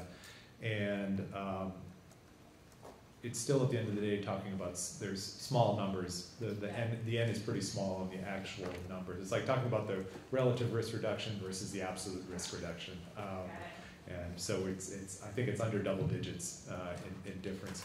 That said, it is something to stay on the radar screen. I, I will admit to having increased anxiety as I looked at the outliers until I saw what our net overall cost was. And I said, well, nobody's perfect, but we're, we're doing well so far. But again, three months of data could, could swing wildly in the next nine. Thank you for clarifying that. Um, and then the last, uh, I wanted to just return to the discussion that Jess had with you around the regional planning, and I'm also excited to hear about how that's going. As you know, I'm chairing the Rural Health Services Task Force, and I, and we're charged with looking at hospital sustainability as well as other healthcare system sustainability in Vermont. Um, and so I'll be very interested to hear more about how that's going. I was curious to know whether at some point you were thinking about including Brattleboro and Cheshire um, as well in that discussion, because at least for the Springfield population, they're kind of in between um, where Yeah. you guys are, and Um, obviously Claremont's pretty close. Yeah, I mean, it ta, it's a eighteen minute drive from us, us to Claremont, and, uh, as I'm doing it frequently now, uh, you know, it's twenty-two minutes down to Springfield. We're, we're still, those three hospitals are still far closer, they're, they're really more nuclear than the further afield hospitals of Brattleboro and Cheshire. I think it's natural that Brattleboro and Cheshire, um, move closer together.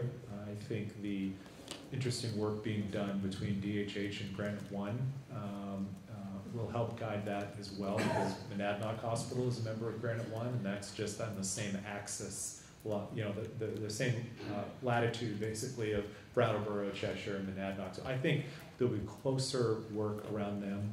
Um, uh, You know, Springfield patients that get redirected to Brattleboro, I think would much rather get redirected to Mount or to stay in Springfield. It's, Yeah. it's that much closer.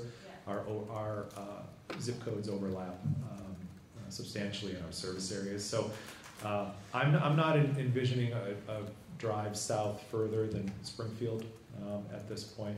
I think we've got our hands full with the, the three close in. Um, and then I'm wondering also, as the three of you discuss that, are you also kind of looking at what's going on at Alice Peck Day? Because that's of course in Lebanon, so very close. Yeah, I mean, my perspective on, on Alice Peck Day is, um, you know, they're, they're two and a half, three miles away from, from DH. It's an easy, it, it's easy to move services, um, and physicians, um, uh, across the, the town of Lebanon. Um, and really, they're in a unique situation. Uh, I almost look at them as a department of, of, of DHH, um, or DH Lebanon, as opposed to someone that would join in on this, you know, Southern Windsor County, Sullivan County, um, uh, group that we're trying to pull together. APD's in a unique spot, as is New London Hospital, the other critical access hospital in the system. Uh, they're in the, the, what I've called the DMZ between Dartmouth Hitchcock and Lebanon and Concord, and, and the competing health systems there. Um, all, all the, you know, we're all, you, uh, all the critical access hospitals have their own market pressures and, and, and geographic location that, that kind of, uh, guide where they're headed. Well, I think this is great work, and I'll be very interested to see where you land, because I do think one of the challenges with that whole quarter is there's a lot of capacity in that, in that quarter, compared, at least relatively speaking, compared to other areas of Vermont. Yeah, there's, you know, there's seventy-five inpatient beds and a, and a ten-bed rehab for, you know, thirty-five to forty thousand patients in total. Um, uh, That's a lot of capacity. Um, It's probably too much inpatient capacity. Um, uh, we run pretty full. Um, uh, uh, Valley and Springfield are are not at this point, so there's, there's, there's room to move people around, and there's, there's capacity to keep people in our communities as, as opposed to sending them to DH. When DH is full, we send them to Cheshire, and, and if they're too sick, they go to Baystate, or they get U V M, and then I have a call from an irritated, uh, CMO at U V M saying, why, why can't you handle these people in your, in your backyard? Thank you. Um, and then my last question is whether, uh, there has been any discussions with DH about considering to participate in the One Care Network for the Vermont folks? Because I know it, that wasn't really possible when they were part of the Pioneer ACO, but they're no longer part of that Medicare ACO, so Yeah, have I- there, have there been discussions Yeah. I, I, I don't wanna, um, speak for, um, the strategic DHH, but I know there's a concerted effort, um, underway now, um, to better educate, I think, the rest of the DHH senior leadership about what, um, you know, what DH's footprint in these, in the alternative, alternative payment models, or the all-payer model, uh, is in Vermont. Uh, My sense is that there's a, um, a, a shift in, in thinking there. um, uh, That, you know, we, we can't just be the, the, the only footprint in, in, in Vermont as part of the system. Again, it gives us the, being part of the system gives us the ability to, to go in and, and, and take the downside risk, but, um, yeah, I, I, I think it- it's a, it's a complex issue and it's on the radar. That's, that's probably just what I can say at this point. Thank you. Unless Wendy wants to chime in, I don't think she does. Thank you, Robin. Um, I'm gonna start with, um, not really a question, but an ask. And I, I, I know that, uh, um, I believe Dartmouth also has a lobbyist in the room. And two years ago, um, when UVM was presenting, they talked about their captive, um, being in the, in the Caribbean. And Dave mentioned offshore captive today. And at that time, UVM thought that it wouldn't make sense for them to um, consider a Vermont captive. But they went out and they did the research, and of course, I don't get to see the people at DFR like I used to because we've moved our offices, but um, I believe that they switched back to Vermont and it was beneficial for all parties. And I was just wondering if you could ask your colleagues at DH, DHH to take a look at Vermont, because Vermont is a world leader in captive insurance, and it'd be nice to see that business here rather than offshore. So, so I, I can, uh, I'll be happy to pass that on, number one. Uh, but number two, um, I, when I use the term offshore captive, that was kind of just like a historical thing that is in my mind together, because that used to be the only option. Okay, uh, and, and, but their, their liability coverage is actually split in two. Uh, one, one half of it is out of Bermuda, and one half of it is, is here in Vermont. And so we're, we're half and. Hundred percent Vermont would be better for me. I, I will be, I will be happy to pass that on. Thank you. Okay, um, you went into great detail about how you calculated both your NPSR and your charges, and really you backed into that based on the margin that you were looking to get. Um, I'm curious on the charge, the, the three point two percent.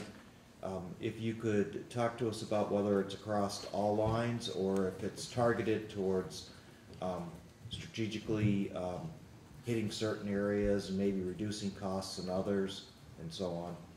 So, um, I'll- I'll, do this a little backwards. So pharmacy, which covers inpatient, outpatient, ER, clinic, whatever, right? Uh, crosses all lines of business. Um, we, we have a, a markup that we use based on cost. We have never changed that markup in the six years I've been there. In other words, we have not garnered, uh, any money from that. So whatever we get billed for, you know, we mark it up and that markup is not changed. Uh, so that's essentially a zero percent, uh, increase. Um, for physicians and, uh, mid-level providers in our clinics and in hospital settings, it's a three percent, um, increase to those charges that they generate. And then for, uh, inpatient, inpatient rehab, swing bed, and outpatient, it's four percent. Blended, a weighted blend, uh, would be the three point two percent. Uh, we tried to shoehorn, uh, um, a, a smaller, uh, rate increase for outpatient. I think our inpatient charges are kind of okay, but our outpatient have issue. And we've talked about this in some prior hearings where, you know, we're trying to bend that down and get outpatient, uh, more in line with average market. Uh, and we really, that was kind of our last fallback position. We can't, we can't do a two and a half in outpatient. We've gotta, we've gotta move to at least three and a half. And ran the data and said, oh my gosh, we gotta go to four.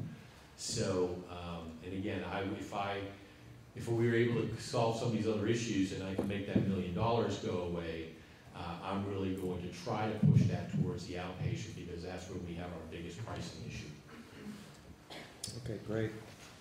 At this time, I'm gonna turn it over to the Office of the Healthcare Advocate, Eric. I'm dealing with a new wireless microphone, so hopefully it works. Um, yes. It doesn't work at all. It went- very loud. So, because of the time, I just want to first start with, um, I think it's wonderful how you've expanded your MAT program, um, and to the ER, and I think at some point it would be useful to have hospitals get together and try to come up with best practices to deal with substance use disorder and also mental health, and, which is a serious problem in the state. And I mean, I think objectively, the population you serve, um, it's a specific challenge in your HSA. Uh, also, uh, embedding a full-time psychiatrist in primary care. Um, so thinking, changing topics a little, um, you know, your 2018 Community Health Needs Assessment, which is uh, quite an interesting read actually, and uh, I, from my opinion, is a substantial job, and you did a wonderful survey with a very large end. Um, the majority of community survey respondents uh, identified access to affordable health insurance, healthcare services, and prescription drugs as the overwhelming issue.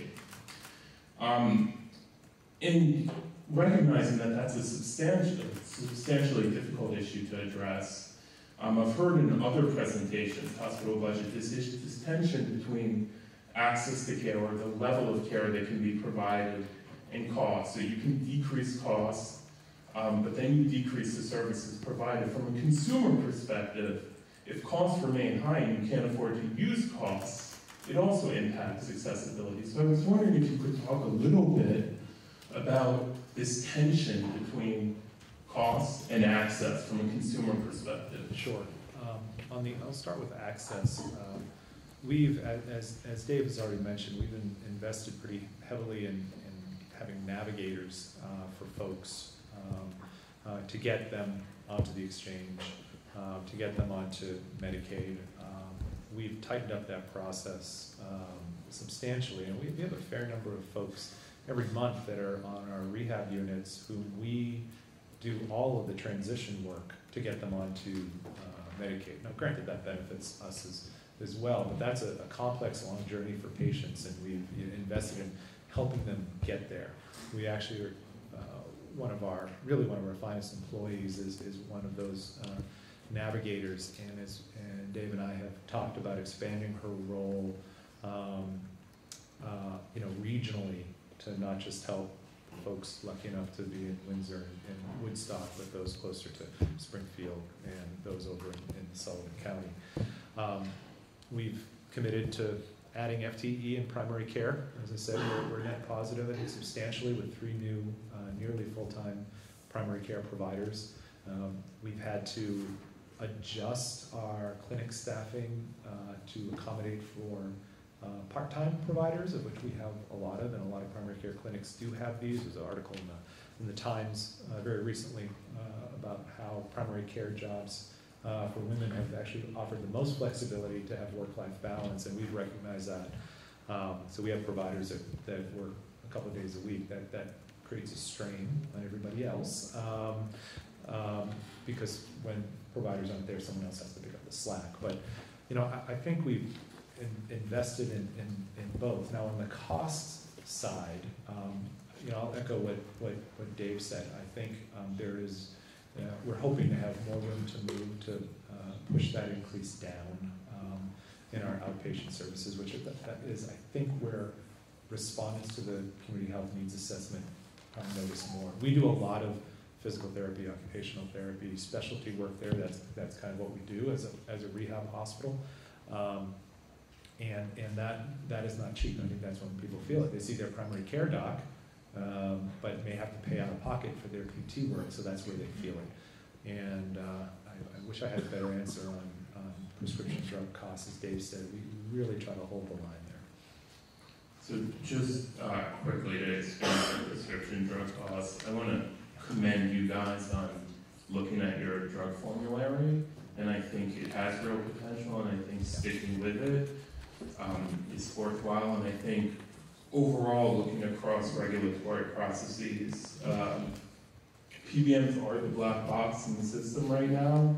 we hear from one side um, that it's a net saving to the system. We hear from another side that it's a substantial cost driver. And my guess is the answer is somewhere in between the two. Um, but we'll never know that answer unless we're able to try to peel back or look into that black box. So I would hope that um, in the future, in the insurance rate review process, that those type of questions are allowed.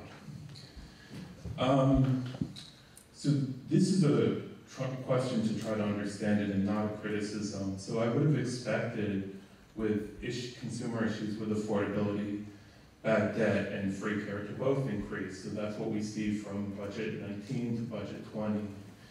Um, but if you look at budget 19 to projections for 19, you see a substantial increase in bad debt, roughly 26%, and a reduction of roughly 5% in free care. And I was wondering if you could talk about what's driving that. Um, I, thi- I think a number of uh, drivers, really. Um, What we have seen, even with our navigator work, is um, she's moving most of the people that can get onto the, that are willing to go on the exchanges, onto the exchanges. Um, uh, And getting the folks that are willing to uh, go through the, the complex journey to get onto Medicaid to do that. And I think that population is, is, is shrinking now. We're getting to the folks that want to be on neither. Um, and I think that's one of the, uh, probably one of the drivers. Um, uh, I don't, I don't have a great answer unless, Dave, you have a, a thought on others. And and again, you know, I think we're still dealing with a small n, and, you know, a couple uh, inpatient surgeries, a couple skews the number greatly. But we've kind of stayed in this band of reasonableness, and uh, I meet with the financial counselors every week, I meet with the care management staff every week to go over uninsured, poorly insured cases that we're seeing in whatever setting. And, um, you know, but it, it, it, we're so small, the ebb and flow is, is really tough to, to predict or manage. But if you look over maybe five or six years, we're kind of in a, in a band of reasonableness. And some, uh, you know, if you, I think we had to submit, I don't know if it was in your, your letter or, or the letter to uh, the Green Mountain Care Board, you know, the number of denials as a percentage and, and all of that. And, and that's, and you can see there's, there's some fair variation between years because we're, we're talking about a few hundred people receiving benefit or not receiving benefit of that program, so. And um, you triggered a, a memory, not a, not a great one. We had a, a visitor um, who was severely injured, visitor from Central America, that had an extended stay in our acute rehab um, and uh, no way to pay for it. A bad car accident, multiple, uh, multi-trauma, month-plus stay that, you know, probably accounts for a big chunk of the, the, the free care and or bad debt, I think, at this point. Yeah. Actually, that case by itself was well into six figures. And it, and the problem with this gentleman was, he, he was not from this country, but he had three payment sources, potential payment sources between the United States and his home country. And so we ended up having to, we, we worked with him all while he was there, he and his wife, great people, wanted to do the right thing, but the insurance companies were all pointing fingers to each other as being responsible. There was a workers' comp carrier, there was Medicare, and there was an out-of-country commercial all involved, and nobody wanted to take responsibility. So what we ended up having to do is we wrote that off to bad debt within thirty days of discharge and, and sent it to an attorney to work on his behalf for our benefit to get all this stuff resolved, and that's still, that's still a process. So I've talked uh, with David about my concerns with the booking of um, the reserves, and that's been talked to death. And I just want to echo um, statements that this is a very difficult phase with no historical data. And I think reasonable minds can disagree about what constitutes objective data under GAAP um, principles. And I hope there is guidance. I think the range idea is interesting. I think whatever the guidance is has to account for the substantial variation between Vermont hospitals and particularly critical access hospitals. Uh, I, agree, and I think there's going to be real work done at the ACO and CMMI level to look at what asymmetric risk looks like. If we wanna get small, I'm wearing my ACO hat now, my OneCare hat. If we wanna get small hospitals into the programs comfortably, I think most would say, I don't need any upside benefit, I just need my downside risk managed better. Um, and I, I, I think, again, these asymmetric risk corridors are gonna be what we move to, but we gotta, we gotta get there, we gotta get through, um, um, you know, our first year in in Medicare. And just lastly, um, you've talked, you have substantial patient volumes from out of state, and that's played out also in, from your data and also in, from the VUHDDS data, looking back three years. Um, what's the payer mix for that population relative to the Vermont payers, populations, or, sorry? So, yeah, we, we actually uh, did look, we do look at that. Um, So it is uh, actually beneficial for us to have New Hampshire patients. Um, And uh, uh, Medicare is uh, a percentage point higher as a percent of business for New Hampshire versus uh, Vermont. So, but statistically insignificant, the difference. Um, But uh, Medicaid is half as a percentage of people coming in. So um, so it's about four percent of the, uh, New Hampshire folks that come in and ten percent of the Vermont, 10, 11 percent of the Vermont people coming in. And then the balance moves to commercial, uh, by definition. So, uh, we actually have more, uh, commercial covered patients coming from New Hampshire as a percentage than we do. Thank you so much. That's all my questions. Thank you, Eric. Is there any uh, member of the public who wishes to offer comment on the Mount Ascutney budget? Dale?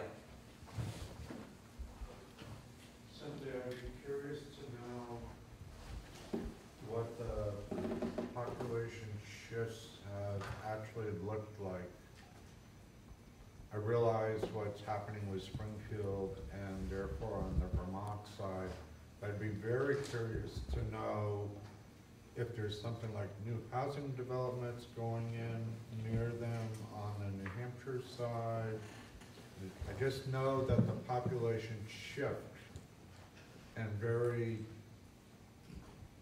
they can shift very quickly, and it's very small moves but make a big difference down there in terms of how people can decide, well, I wanna live here this year, or I wanna live there. And it can be like, do I wanna live in Etna, New Hampshire, or do I wanna live in Lyme, New Hampshire? Um, and I would imagine that would affect who they see as a patient from New Hampshire. Um, That's a good question, Dale. Uh, Our communities, Windsor, Greater Windsor, Springfield, Claremont, are hauntingly similar um, in uh, its its demographics. That said, there is more business investment in Claremont going on. There are companies there that are trying to attract a younger workforce. I think Red River being one of the services, uh, computer and IT services firm that we work with. Um, They are um, grooming local high school students and local college students to come into their workforce um, and have built a really a remarkable uh, space in an old factory, uh, old, old mill building in, in Claremont. Um, uh, so there, there is, I think, more business development on, on the New Hampshire side, attracting more of the workforce, and that, that, I think, explains what Dave just mentioned around the, the higher, uh, true commercial payer mix that we see, um, in New Hampshire. I think, again, Springfield and Windsor are, are, are very similar, very similar payer mix, uh, and demographic.